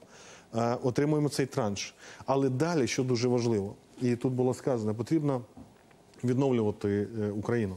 І це правда. Тому що нереформована країна вона завжди буде створювати от такі колапси і випробування для своїх громадян. Те, що е, водій їхав до європейських країн, ці країни були реформовані. Я пам'ятаю свою зустріч з президентом Польщі в 2010 році е, Браніславом Комаровським. Перше, що він мені сказав, сказав, ти знаєш, в чому наш успіх? В тому, що ми провели децентралізацію влади. Ми віддали реальні кошти на місця, і люди почали розвиватися і жити. І їх менше почало цікавити те, що відбувається в центрі.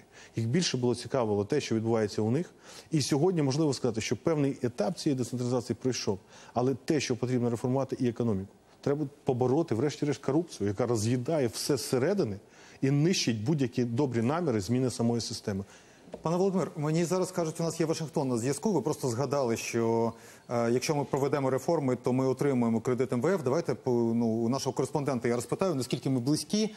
А, на этой неделе, наконец, появились долгожданные новости из МВФ. Там вплотную начали рассматривать вопрос об украинском кредите. И вот о датах и суммах спросим прямо сейчас у нашего вашингтонского САПКОРа Дмитрия Иловского. Коллега, вам слово.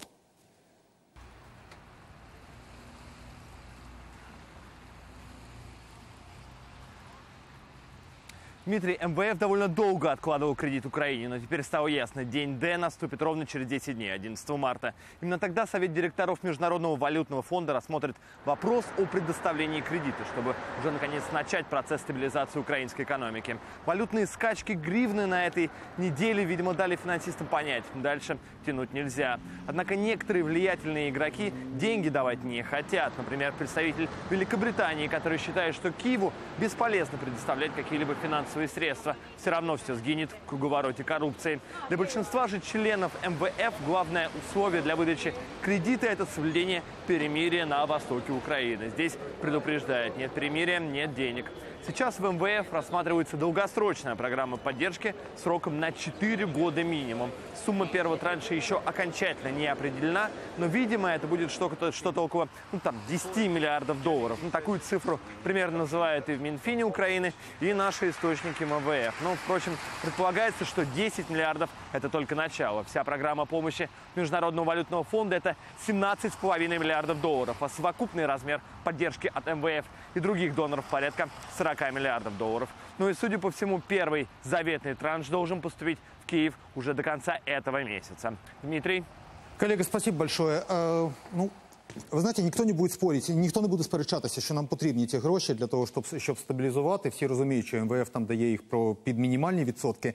Але є питання, якою ціною ми їх отримуємо. Я обіцяв глядачам, вибачте, я обіцяв глядачам. Просто у нас була Юлія Володимирівна Тимошенко на початку програми. Вона різко критикувала ті зміни до бюджету, які е, має рада розглядати завтра. Вона навела кілька меседжів. Вона казала про те, що це вдарить по пенсіонерам, це вдарить по малозахищеним. Е, Ваше розуміння, е, от є цей баланс між тими змінами, непопулярними реформами, на які треба піти, і вагою е, кредиту МВФ, який ми маємо отримати. Що на одній вазі, що на інших. У нас є дуже багато викликів. Якщо говорити абсолютно відверто, то треба відкинути сьогодні е, політику і говорити про той стан справ, який у нас є. У нас є війна, у нас є незаплановані видатки на оборону, у нас є е, падіння е, економіки, у нас є е, курс національної валюти проблемний. У нас є багато викликів, які ми маємо сприймати. Те, що ми говоримо про сьогодні про транш Міжнародного валютного фонду, це підтримка чи стабілізація ситуації. Але це не вирішення питань в цілому. Тому цей транш або транші, або чотирирічну програму, яку ми отримуємо, це буде стабілізація на 4 роки від потрясінь. І саме головне, за цих 4 роки Україна має бути реформована. Інакше не треба нічого брати. Інакше через 4 роки, якщо її не реформувати, ми прийдемо туди, звідки ми прийшли зараз. З такою самою ситуацією ми ма- матимемо повернути ці гроші. Постійно. Це буде постійно. Тобто мова йде про те, що нам потрібно побороти корупцію, як ви чули це в е, сюжеті. І певні кроки вже робляться, в тому числі частину цих завдань виконує парламент з точки зору ухвалення законів. Нам потрібно побудувати судову систему справедливу, коли люди будуть розуміти, що є справедливість. Нам потрібно провести децентралізацію влади.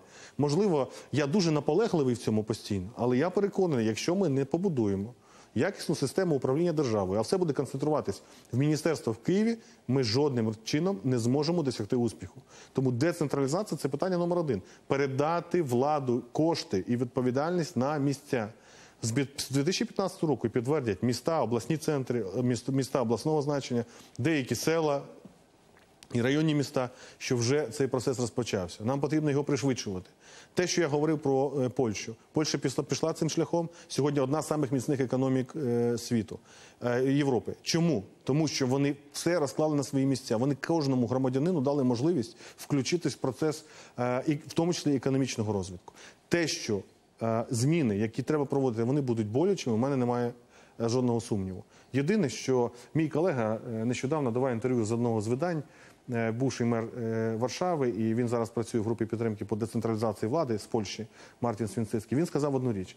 Мені каже, дуже прикро, що у вас питання децентралізації з експертного середовища може перейти в політичне. А в політичне ми знаємо, що там, де брались політики, на превеликий жаль, рідко коли був успіх. Там заговорюється і Тут все. треба братись не за політичну складову, а за систему. І ми можемо 50 разів переобирати владу. Треба змінити систему, яка буде приводити е, людей, які здатні на місцях е, змінювати ситуацію. І така система є. І я вважаю, що це один із важливих пріоритетів. Звісно, і дерегулювати потрібно, і зменшувати тиск контролюючий. Це все ті завдання, які стоять перед нами. При цьому потрібно е, зміцнювати нашу обороноздатність, бо у нас є виклики, про які ми навіть півтора року назад і не думали про те, що наші воїни, наші герої сьогодні будуть на східному фронті воювати і відстоювати нашу незалежність. Дякую, що були в нашій студії. Е, Напомню, е, глава парламента Владимир Гройсман с нами. И вот два главных месседжа, просто просуммируя, которые мы услышали. По его словам, бюджет все-таки завтра, скорее всего, будет принят. Ну, а еще от нашего гостя мы услышали новость, э, которую ждали весь сегодняшний эфир. Алексей Гончаренко на свободе. Ну, а завтра будет суд. Не Будем забывайте- следить за этой Не историей. забывайте еще одну вещь. Надо деньги передать людям. Именно о децентрализации. Это третий мес- месседж, который я хотел Вы сказать. знаете, наверное, это самое главное, чего люди бы хотели, чтобы те ресурсы, которые есть, передали им, чтобы они могли что-то в своих городах И менять, это а не будет- только ждали указания и из это- и Киева. это будет верно, и это будет сделано. Спасибо. Спасибо большое. Спасибо.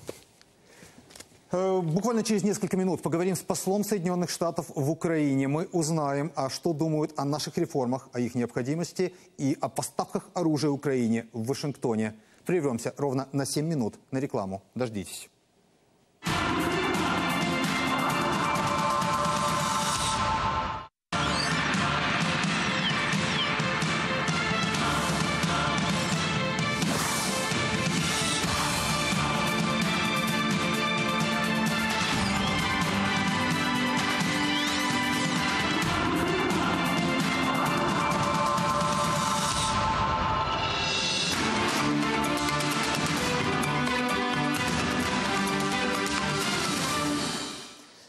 Подробности недели. Мы возвращаемся в эфир. Спасибо, что смотрите. Уже совсем скоро послушаем интервью с послом Соединенных Штатов. Еще будет тема роста цен. Разговор о том, как правительство должно помочь нашим гражданам. А кризис ведь ударил по всем без исключения, не только по самым бедным, не только по пенсионерам, но и по среднему классу. Ну а начнем. Начнем с еще одной очень важной темы этой недели – миротворцев. Уже во вторник парламент должен рассмотреть специальный закон – Закон, который даст согласие на введение миротворцев в зону конфликта на Донбассе. Ну, согласитесь, многие из нас, когда обсуждали эту тему на неделе, когда следили за новостями, обсуждали между собой, а вот действительно появятся голубые каски ООН, может быть, ситуация и наладится. На этой неделе я специально связывался с Организацией Объединенных Наций, и там нам, вот что называется off the records, то есть без права разглашать источники, сказали, что традиционная миротворческая миссия в Украине малореальна, и что, скорее всего, вот если и будет согласие, то это может быть полицейская миссия, как в Боснии. Ну а что это такое полицейская миссия, чем она может помочь Украине? Мы решили в этом разобраться. 1 марта – это еще и годовщина начала той самой боснийской войны. Начало 90-х. Конфликт, похожий на войну в нашей стране. Очень похожий. Точкой в боснийской войне стало международное вмешательство. И теперь в Боснии специальная полицейская миссия. Такая, как может появиться и в Украине. Вот за ее работой наблюдал Роман Бочкова.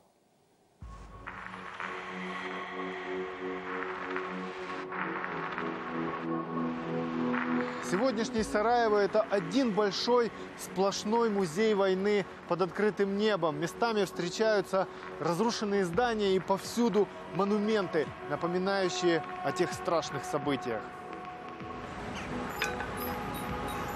Парламент был полностью сожжен. Это здание уже построили после войны. Вообще, в центре Сараева не уцелело практически ни одно здание. Город находится в окружении гор и со всех сторон постоянно велся огонь.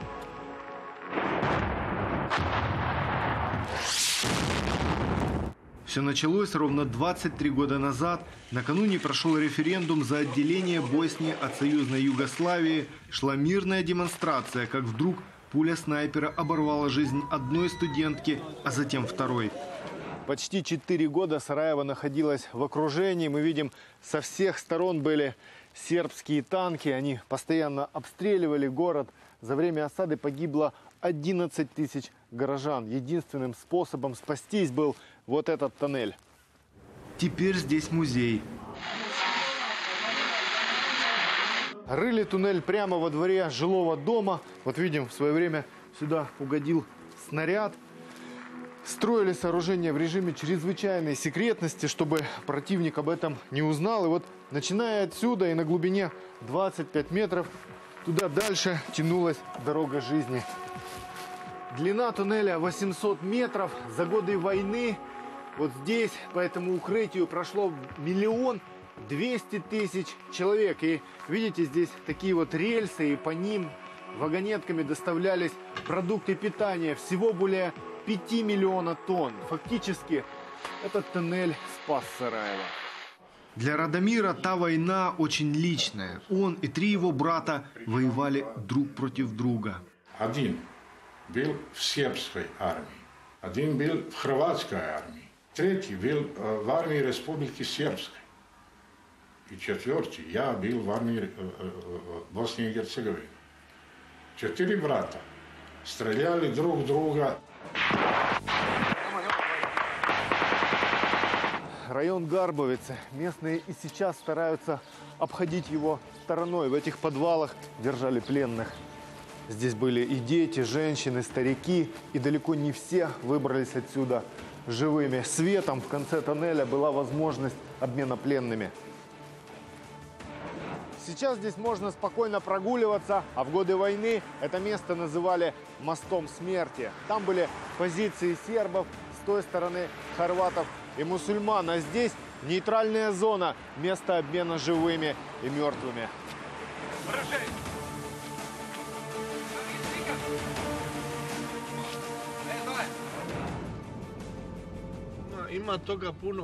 Здесь повсюду валялись трупы. Четыре года настоящего ада.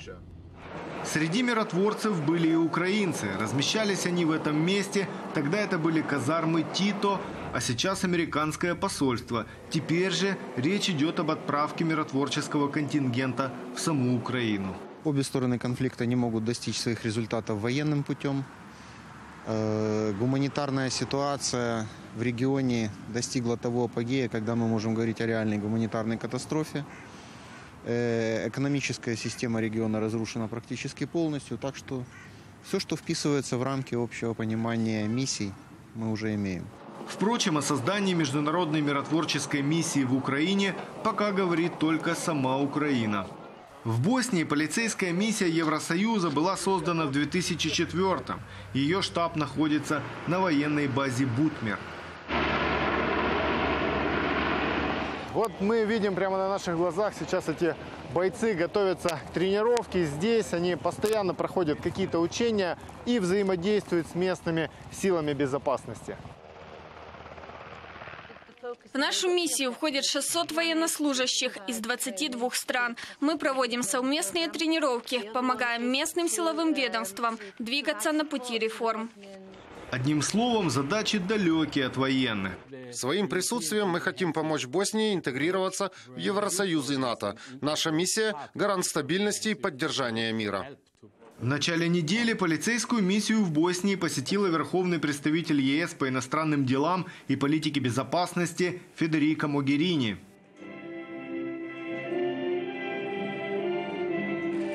В ходе визита зашла речь об Украине. Могерини обратила внимание на необходимость соблюдения Минских соглашений. Об открытии миротворческой миссии в Украине пока ни слова.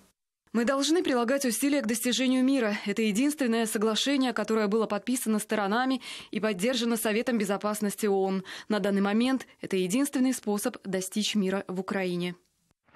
В Украину, если и приглашать, то миссию военную. Но учитывая обстоятельства, это выглядит нереально. Никогда еще в истории не было такого, чтобы страна, которая является постоянным представителем при Совбезе ООН, была непосредственно вовлечена в этот конфликт. В случае с Боснией полицейская миссия была создана только через 10 лет после завершения активной фазы конфликта – когда война уже была давно позади, когда 100 тысяч жертв стали страшным наследием, а примирение и восстановление страны из руин тяжкими буднями, и длятся они до сих пор.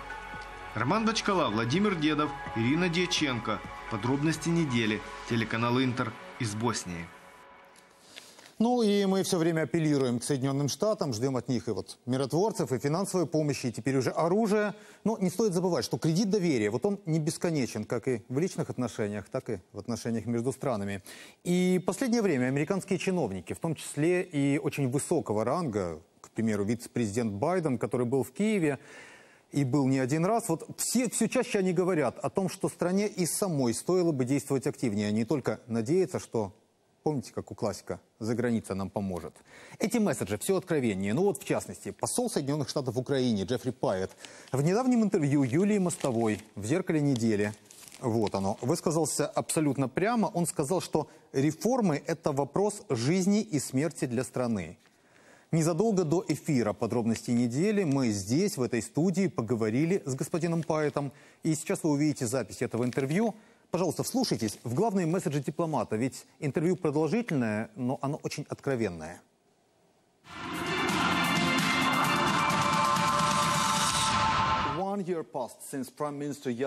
Прошел год с того момента, как Арсений Яценюк был назначен премьер-министром. И вы лично, и госсекретарь Джон Керри, когда он приезжает в Киев или говорит по телефону с Киевом, скорее всего слышите те же самые правильные слова, как и год назад. Но на деле реальных реформ не видно. Нет ли у вас чувства, что Украина теряет свой последний шанс? Это был экстраординарный год. Я думаю, что премьер-министр, президент и их команда заслуживают одобрения за то, чего они достигли. За честные выборы, самые честные выборы в истории Украины. За соглашение с МВФ, которое помогло поддержать экономику Украины. А самое главное, за то, что Украина выжила. Украина смогла дать отпор постоянным попыткам России разделить Украину на части, посеять раздор. И я полностью согласен с вами, что основным требованием Майдана было проведения глубоких реформ в системе управления, экономики. И это до сих пор остается самой главной задачей правительства. А Штаты будут помогать ему справиться с этой задачей. Говоря о происходящем в вашем недавнем интервью «Зеркалу недели», вы сказали, что проведение реформ в Украине является вопросом выживания страны, вопросом жизни и смерти. И что, если все будет продолжаться, как и ранее? Возникнет вопрос, выживет ли Украина? Нет ли у вас чувства, что вас не услышали? Не соглашусь с вами. Мысль, которую я хотел передать в этом интервью, сейчас момент жизни и смерти для Украины в смысле проведения реальных реформ. Это то, что я слышу от многих политиков в Украине. Старые практики глубоко вжили систему. И нельзя просто изменить лица, нужно менять систему. Но ведь вы наверняка разговариваете с крупными американскими бизнесменами, с инвесторами. Что они говорят? Разочарованы тем, что реформы проводятся недостаточно быстро. Но они признают, есть и определенный прогресс. Новая система госзакупок, меняется правовая система. Вы избавляетесь от посредников между покупкой и поставками газа. Это все шаги вперед, но это только часть работы. Предстоит долгий путь, чтобы осуществить настолько глубокие реформы, насколько требуется требуется. Когда вы давали интервью Андерсону Куперу с CNN о происходящем на Донбассе, то сказали, что ситуацию можно изменить одним телефонным звонком. Что вы имели в виду? Мы считаем Россию основной ответственной стороной за невероятного масштаба насилия, которое происходило на Донбассе весь прошлый год. Недавно мы опубликовали дополнительные данные. Мы знаем, что регулярные части российской армии принимали участие в захвате Дебальцева, военных действиях, которые происходили уже после того, того, как Минское соглашение должно было вступить в силу. Россия поставила сотни и сотни единиц тяжелого вооружения с декабря, с момента тишины, в том числе и те, которые использовались в атаке на Дебальцево. Мы считаем, что российские генералы принимают участие в конфликте на Донбассе, и что российские офицеры командуют тактическими военными операциями на Донбассе. Мы знаем, что Россия использует современные электронные системы наведения ракет класса «Земля-воздух». Это то, что я сказал Андерсону Куперу, что этот конфликт можно остановить одним телефонным звонком, звонком президента Путина. Россия создала этот конфликт, Россия способствовала его эскалации в декабре-январе, и Россия должна принять решение о его деэскалации. Говоря о российском военном присутствии здесь, в Украине, есть ли у вас дополнительное доказательство? Да, у нас очень много доказательств. Командующий сухопутными силами США в Европе генерал-лейтенант Ходжи сказал, если вы не признаете военное присутствие России на территории Украины, это значит, что вы не хотите его видеть. У нас есть спутниковые данные, у нас есть собственные источники, доказательства российского военного присутствия на Донбассе, а также очень много материалов, которые сейчас появляются благодаря западным журналистам, которые ездили на Донбасс и встретили там россиян, к примеру, с Дальнего Востока. Сфотографировали танки и другую военную технику, которая никогда не производилась в Украине. Сфотографировали колонны техники, которая двигалась очень организованно. Это не ваши шахтеры или фермеры, как Путин пытался это представить.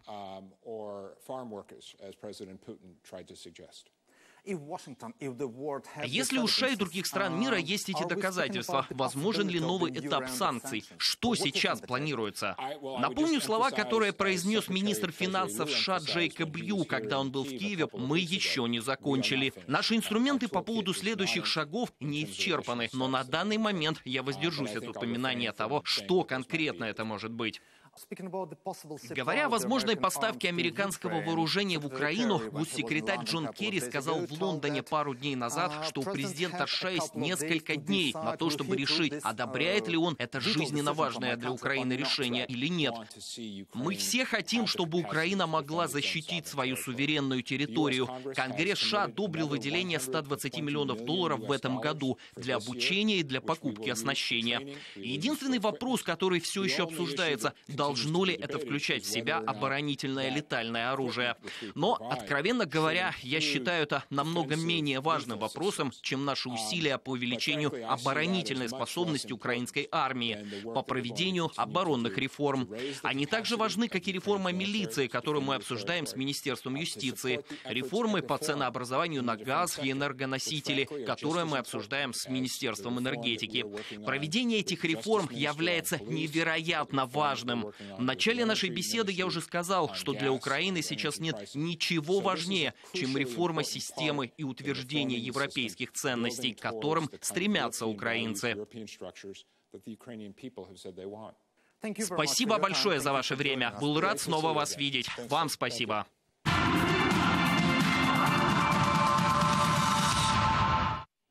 Ну и сейчас снова вернемся к ситуации на фронте, где многие ждут вот этого вот самого американского оружия. Там сейчас продолжается отвод тяжелых вооружений. Все подробности об этом у нашего корреспондента Ярослава Кречка. Ярослав, что сегодня ты видел? Происходит ли он отвод вооружений?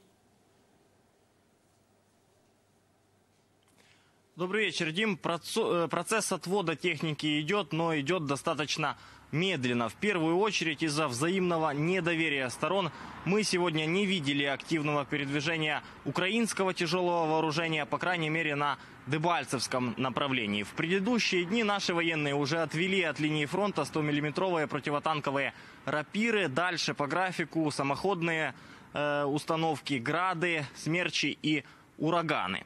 Отвод тяжелого вооружения от линии фронта стороны должны закончить до 7 марта. График составлен отвода таким образом, чтобы та группировка наших войск, которая остается, была в состоянии решать оборонительные функции. Поэтому э, мы внимательно наблюдаем на действия противоположной стороны, и наши действия синхронны. В штабе АТО говорят, что на некоторых участках террористы создают видимость выполнения минских договоренностей. Днем перед представителями ОБСЕ технику отводят в тыл, а ночью э, привозят обратно. Не верят в заявления боевиков и наши военные на передовой. Ми відвели техніку, ну, казати не будемо яку, бо це воєнна таємниця. Ну, ми відводимо техніку. А надіємося, що товариш Путін свои слова дотримує. Когда, конечно, миротворческие войска, скорее всего, войдут до нас, вот тогда Путин ну, сдрехлит, грубо говоря, он начнет отводить войска. Ну, а так он будет на нас лезть, как блохи те. Мы отводим. Мы отводим технику, все. Потому что мы видим это. А с той стороны, что там делается, мы не видим это. Ну, в принципе, и не слышно, чтобы Мы кто видим, отводил. лезут сюда. В то же время в последние дни боевики практически не открывают огонь из аль- артиллерии. Полной тишины на фронте нет, но прогресс все-таки есть. Немає обстрілів з мінометів, з градів. Це трошки нас заспокоює. І ми раді тому, що домовленості, які були в Мінську, вони почали виконуватися. Мы продолжаем следить за ситуацией в зоне АТО, за отводом техники от линии фронта и о развитии событий обязательно сообщим. Дима. Спасибо большое, коллега. Ну, у вас на самом деле на сегодня самая главная миссия об отводе вооружений. Говорит весь мир. Говорим не только мы с вами сегодня в этом эфире. Говорят и ведущие телеканалы мира. Все присматриваются и к Украине, и к той стороне за линией фронта. Война оставила на Донбассе много разбитых городов. Вот пока что перемирие, мы только что говорили об этом с нашим корреспондентом, но государство еще не начало восстанавливать этот регион, и частная инициатива появилась. Восстановлением Донбасса занялись депутаты. Давайте посмотрим, как это было. Попасная. Четыре дня, как стихли обстрелы. Местные жители начали выходить из подвалов и убежищ на улице. Пользуясь затишьем, волонтеры везут сюда продукты. Едва машины с гуманитарной помощью появляются во дворе, их тут же окружают нуждающиеся. Таких в Попасной до трех тысяч. С декабря Попасная под обстрелами. Кто успел уехать, тому повезло. Остальные в холоде, в проголодь и в страхе за собственную жизнь. Я сплю тут с мамой, а папа спит там, А уроки где делаешь? вот тут а за столом. А в школу когда последний раз ходил? Ну когда? Больше месяца назад. Вот моя квартира разбита полностью все. Отопления нету, разбито, все разбито. Видите, одна в крышу, во второй и в третий подъезды. Это заделали мужики наши. За месяцы боев Попасная превратилась в руины. Поначалу люди пытались самостоятельно отстроить разрушенное, но сейчас на это ни сил, ни денег. Это уже пятый раз мы сюда приезжаем, привозим гуманитарную помощь. В понедельник, в этот понедельник здесь были два депутата, ну, Сергей Дунаев и Юрий Бойко. Они встречались, общались с людьми и сказали, что помогут еще в восстановлении, то есть непосредственно именно жилого фонда Попас. Вот эти стройматериалы из Лисичанска отправляются в Попасную. Государственные функции по восстановлению разрушенного Донбасса взяли на себя местные предприниматели. предпринимателями нашего города приобрести цемент, шифер, стекло. И, э, естественно, это все поедет в город Попасна на, на восстановление. К сожалению, э, те обещанные 300 миллионов, которые правительство озвучивало и в прошлом году на выделение восстановления Донбасса, на сегодняшний день не поступило ни в Донецкую, ни в Луганскую область. Идея принадлежит главе парламентской фракции «Оппозиционный блок» Юрию Бойко. Он на днях лично посетил Попасную и узнал у жителей, в чем они нуждаются в первую очередь. Материалы уже закупили, мы сейчас нагоним сюда строителей.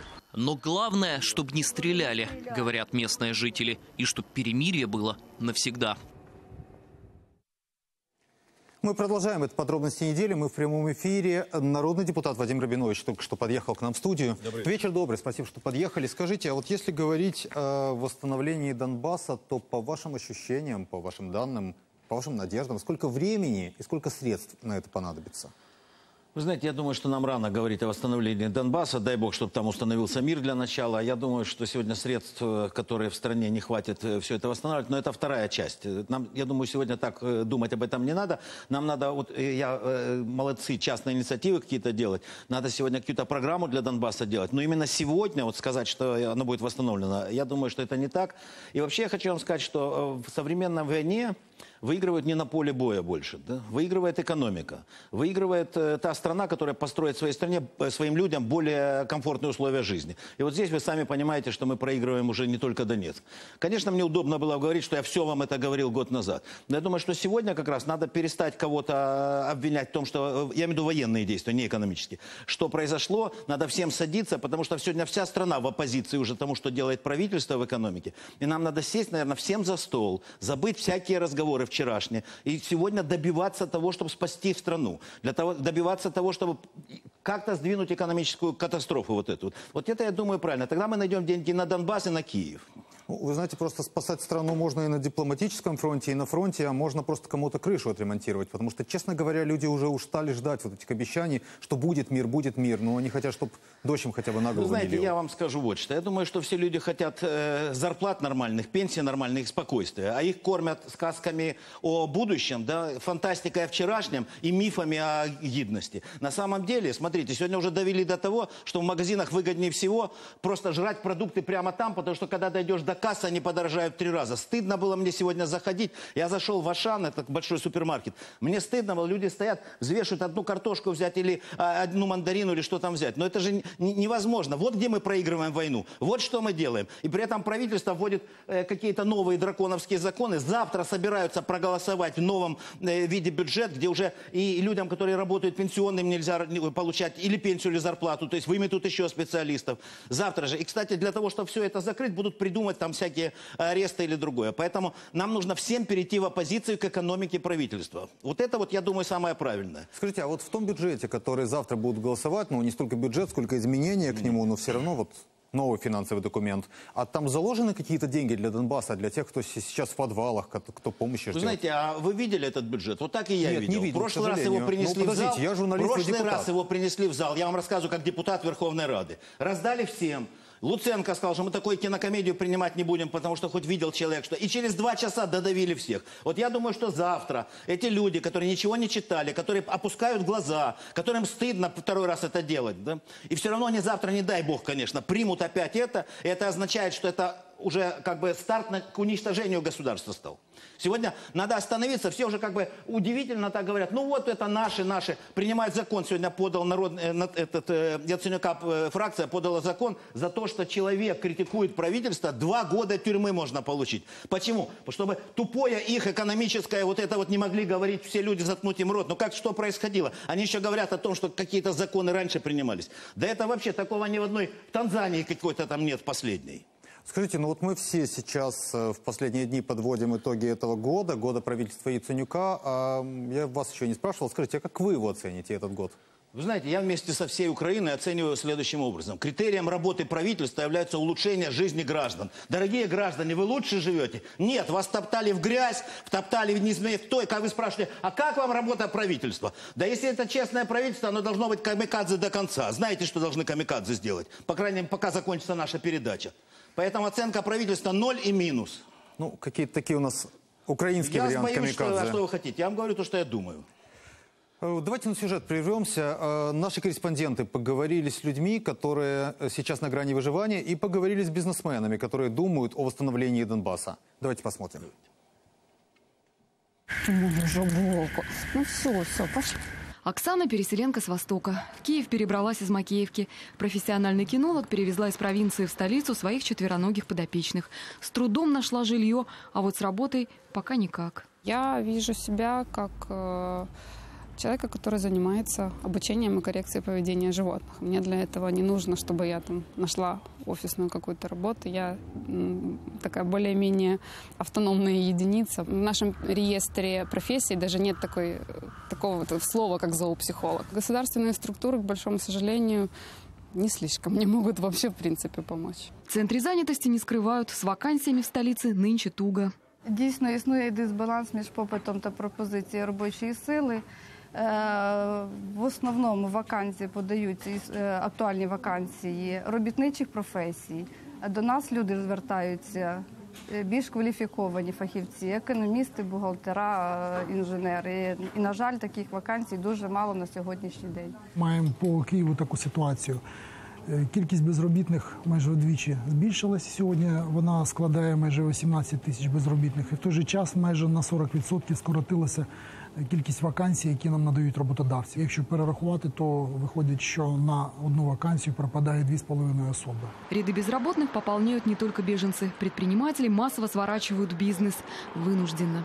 формально количество податков э, сократили, сократилось, но фактически ни- ничего не изменилось и даже увеличилось. Товарооборот уменьшился. Ос- Особенно это ощутимо при росте курса доллара. Закрываются предприниматели, которые действительно вот столкнулись с такими проблемами, а очень многие столкнулись с проблемами э, в банковской сфере. Многие предприниматели активно пытаются продать свой бизнес, но желающих купить такой товар в кризис нет. Бизнес сегодня не имеет запаса жира, никакого уже. То есть все, что можно, съели. Все компании, неважно, большие или маленькие, или средние, они пережили ужасную ситуацию 2014 года. Они верили сначала в президентские выборы, думали, что-то произойдет. Потом ждали парламентских выборов, верили, что что-то произойдет. Конечно, вера – это хорошо, это правильно, но надо что-то делать. Мы должны вернуть своих инвесторов, привлечь чужих инвесторов, дать надежду, убрать вот эту депрессию, которая сегодня происходит в стране, неверие сам в себя, непонятно, куда мы идем и что делаем. Это самое главное, потому что оно находится вот тут все в голове. Как только мы это поменяем, мы сразу начнем решать вопрос. Каждый день очередь нетрудоустроенных пополняется новыми безработными.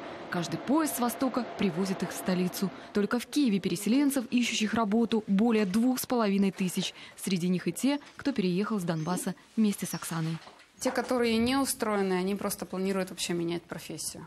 Но есть пару человек такие, которые не хотят заниматься. Для них это был как некий даже толчок. То, чем я занимаюсь, далось достаточно высокой ценой. И я говорю, что я не готова от этого отказаться. Голова и руки есть, как-то справимся. Ольга Мишина, Владимир Самченко, Сергей Келимник. Подробности недели. Телеканал Интер. Дмитрия Фирташа вы видели фрагменты его интервью в этом сюжете. Вот об интервью его попросили не только мы, но, оказывается, и западные СМИ. Дело в том, что уже в этот вторник в Австрии пройдет международный форум. Будут обсуждать там вот как раз вопрос, а как восстанавливать Украину. Организаторы Федерация работодателей и профсоюзы. Так вот, в Австрии предложат план создать специальное агентство, которое подготовит план модернизации Украины, а еще будет создан фонд. Его задача как раз и собирать средства, которые смогут спасти украинскую экономику. При этом речь пойдет не об очередных займах, а вот как раз о многомиллиардных инвестициях. Участие в форуме примут и политики, и бизнесмены из Германии, Франции, Великобритании, Польши и многих других стран. Всех их ждут, по крайней мере.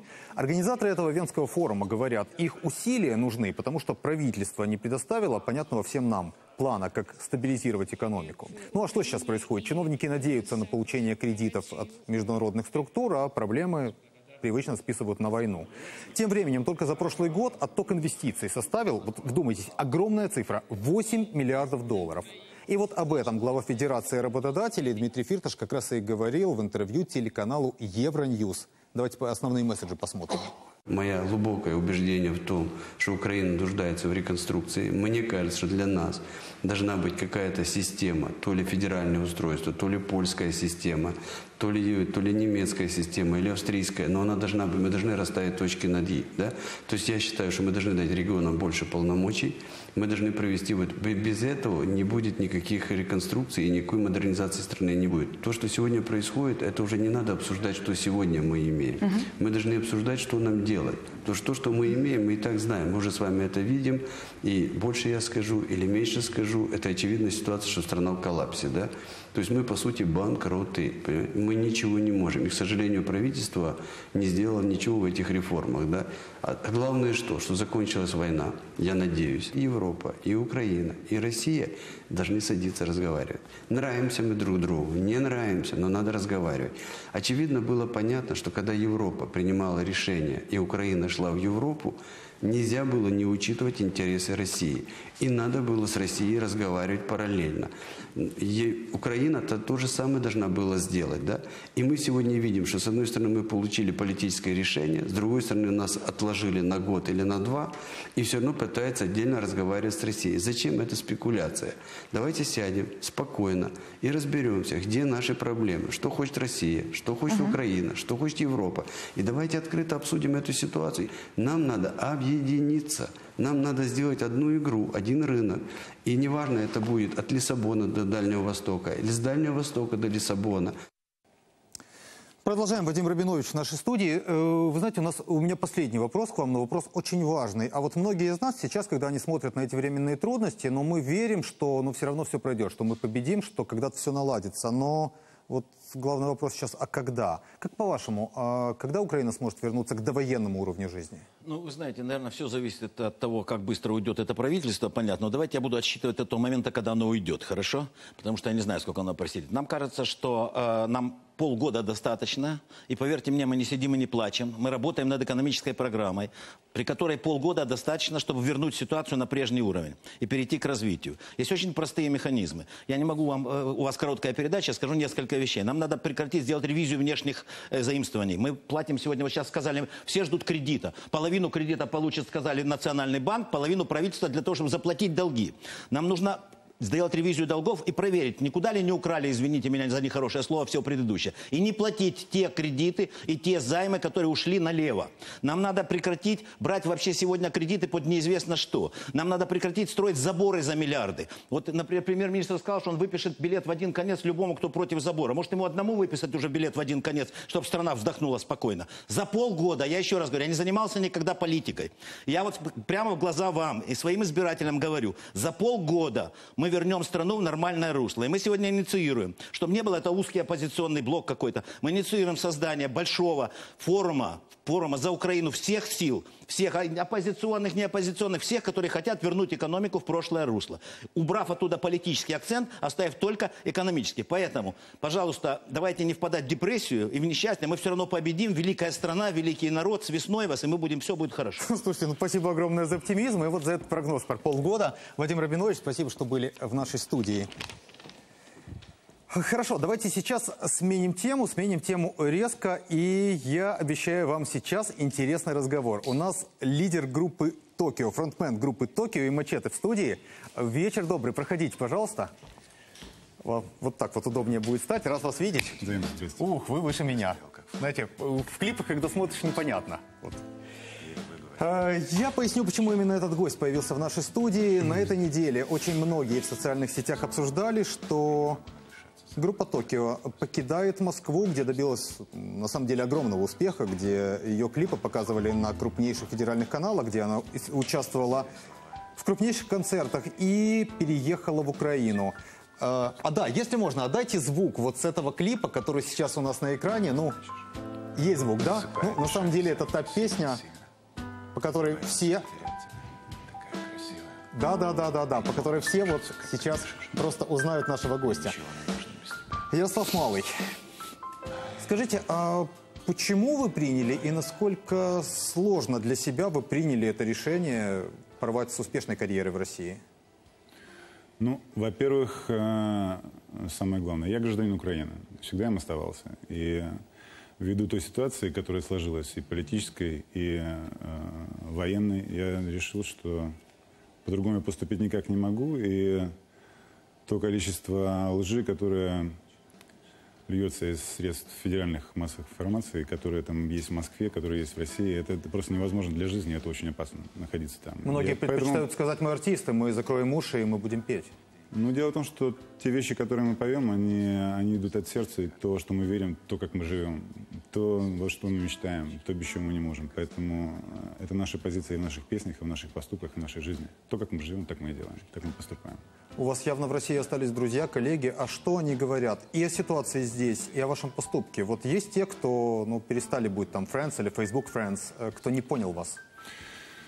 Ну, по сути, я могу сказать, что те люди, которым э, было близко, э, была близка наша позиция и было близко наше творчество, они понимают, что, в принципе, это единственный правильный выход в сложившейся ситуации сейчас в, в России. Потому что, к сожалению, э, огромное количество людей зомбируется, огромное количество людей э, ввергается в, в, в, в океан неправды и лжи. И из-за этого у них э, реально начинают меняться мысли. Они из здравомыслящих людей становятся...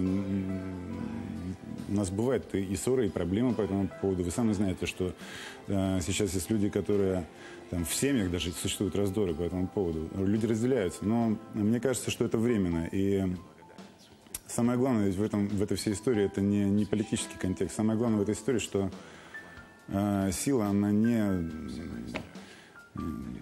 не в армиях, сила не в политических каких-то решениях, сила в Боге. Это самое важное. И э, мы просто потеряли а, то, ради чего мы вообще находимся в этом мире. Помните, то, что Бодров говорил, еще в правде. В чем сила? Сила в правде. Бодров э, говорил про силу в правде, я говорю про силу в Боге. И я знаю это точно сто процентов, потому что если это духовный стержень, он должен быть, он должен присутствовать. Люди потеряли смысл, ради чего все это происходит с нами. Мы э, увлекаемся какими-то политическими событиями, увлекаемся какими-то катастрофами. Если вы посмотрите, что в мире происходит, да, ну невозможно же на это смотреть. Нет ни одного островка, где было бы спокойно. И все это говорит о том, что мы что-то неправильно делаем. И единственное, что у нас есть, единственная как возможность, которая у нас есть исправить то, что происходит, обратиться к Всевышнему. Всем нам. И здесь, и в России, и в других странах мира. Обратиться, понять, что мы делаем неправильно, извиниться перед ним за это. И попытаться наладить что-то в своей жизни. Здесь, сейчас, вот рядом, а, в семье, в отношениях друг с другом, в отношениях между странами, в отношениях во всем мире. Мне кажется, что это единственный выход из ситуации. Потому что все остальное политики, даже посмотрите на то, что происходит, а, постоянно говорят о том, что там а, сейчас будет какая-то помощь для Украины, да, финансовая, военная или еще. Ну, ну, постоянно возникают какие-то проблемы, этого не происходит. Этого не происходит по другой причине, потому что не эта помощь нам нужна. Нам нужна помощь Всевышнего, мы должны обратиться к Богу нашему и сказать, папочка, что мы делаем не так? Скажи. Пожалуйста, Вы знаете, помоги у вас нам есть еще одна возможность, вот не только обратиться к высшим силам, у вас есть возможность еще и петь, чтобы в ваших песнях люди услышали и призывы, и смысл. Ну, мы это и делаем, я надеюсь, что те люди, которые э, любят наше творчество в России, они поймут, э, что мы не могли по- поступить по-другому. И, э, естественно, мы будем продолжать делать нашу музыку, и для музыки нет границ. Поэтому я думаю, что наши мысли, и наша музыка будет доходить и туда, и везде. У вас есть новая песня, давайте прямо сейчас ее услышим. Давайте, конечно, с удовольствием.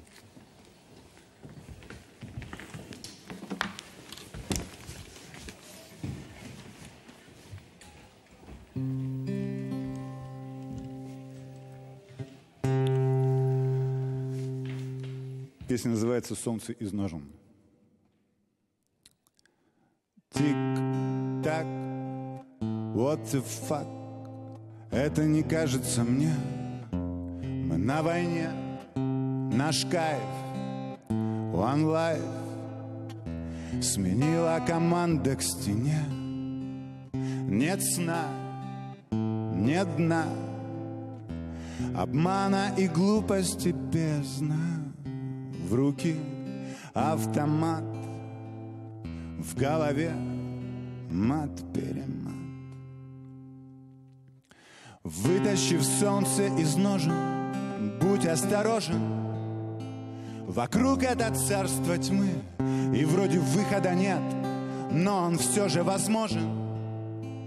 И первыми будем мы, те, кто верят, как дети, в свою любовь.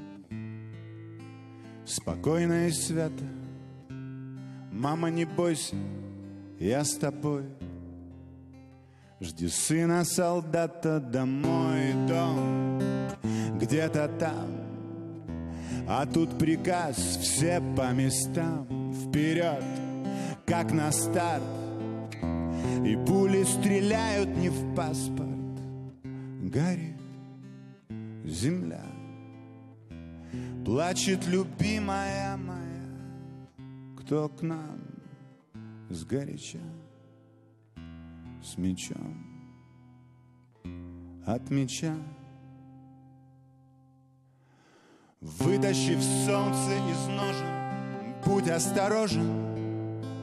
Вокруг это царство тьмы, и вроде выхода нет, но он все же возможен. И мы, те, кто верят, как дети, в свою любовь. Спокойно и свято, не плачь, любимая, я с тобой. Жди мужа солдата, да one day, one love, one life. Солдаты вернутся, да one day, one love, one life. Солдаты вернутся, да one day, one love, one life. Солдаты вернутся, да one day, one love, one life. Солдаты вернутся домой.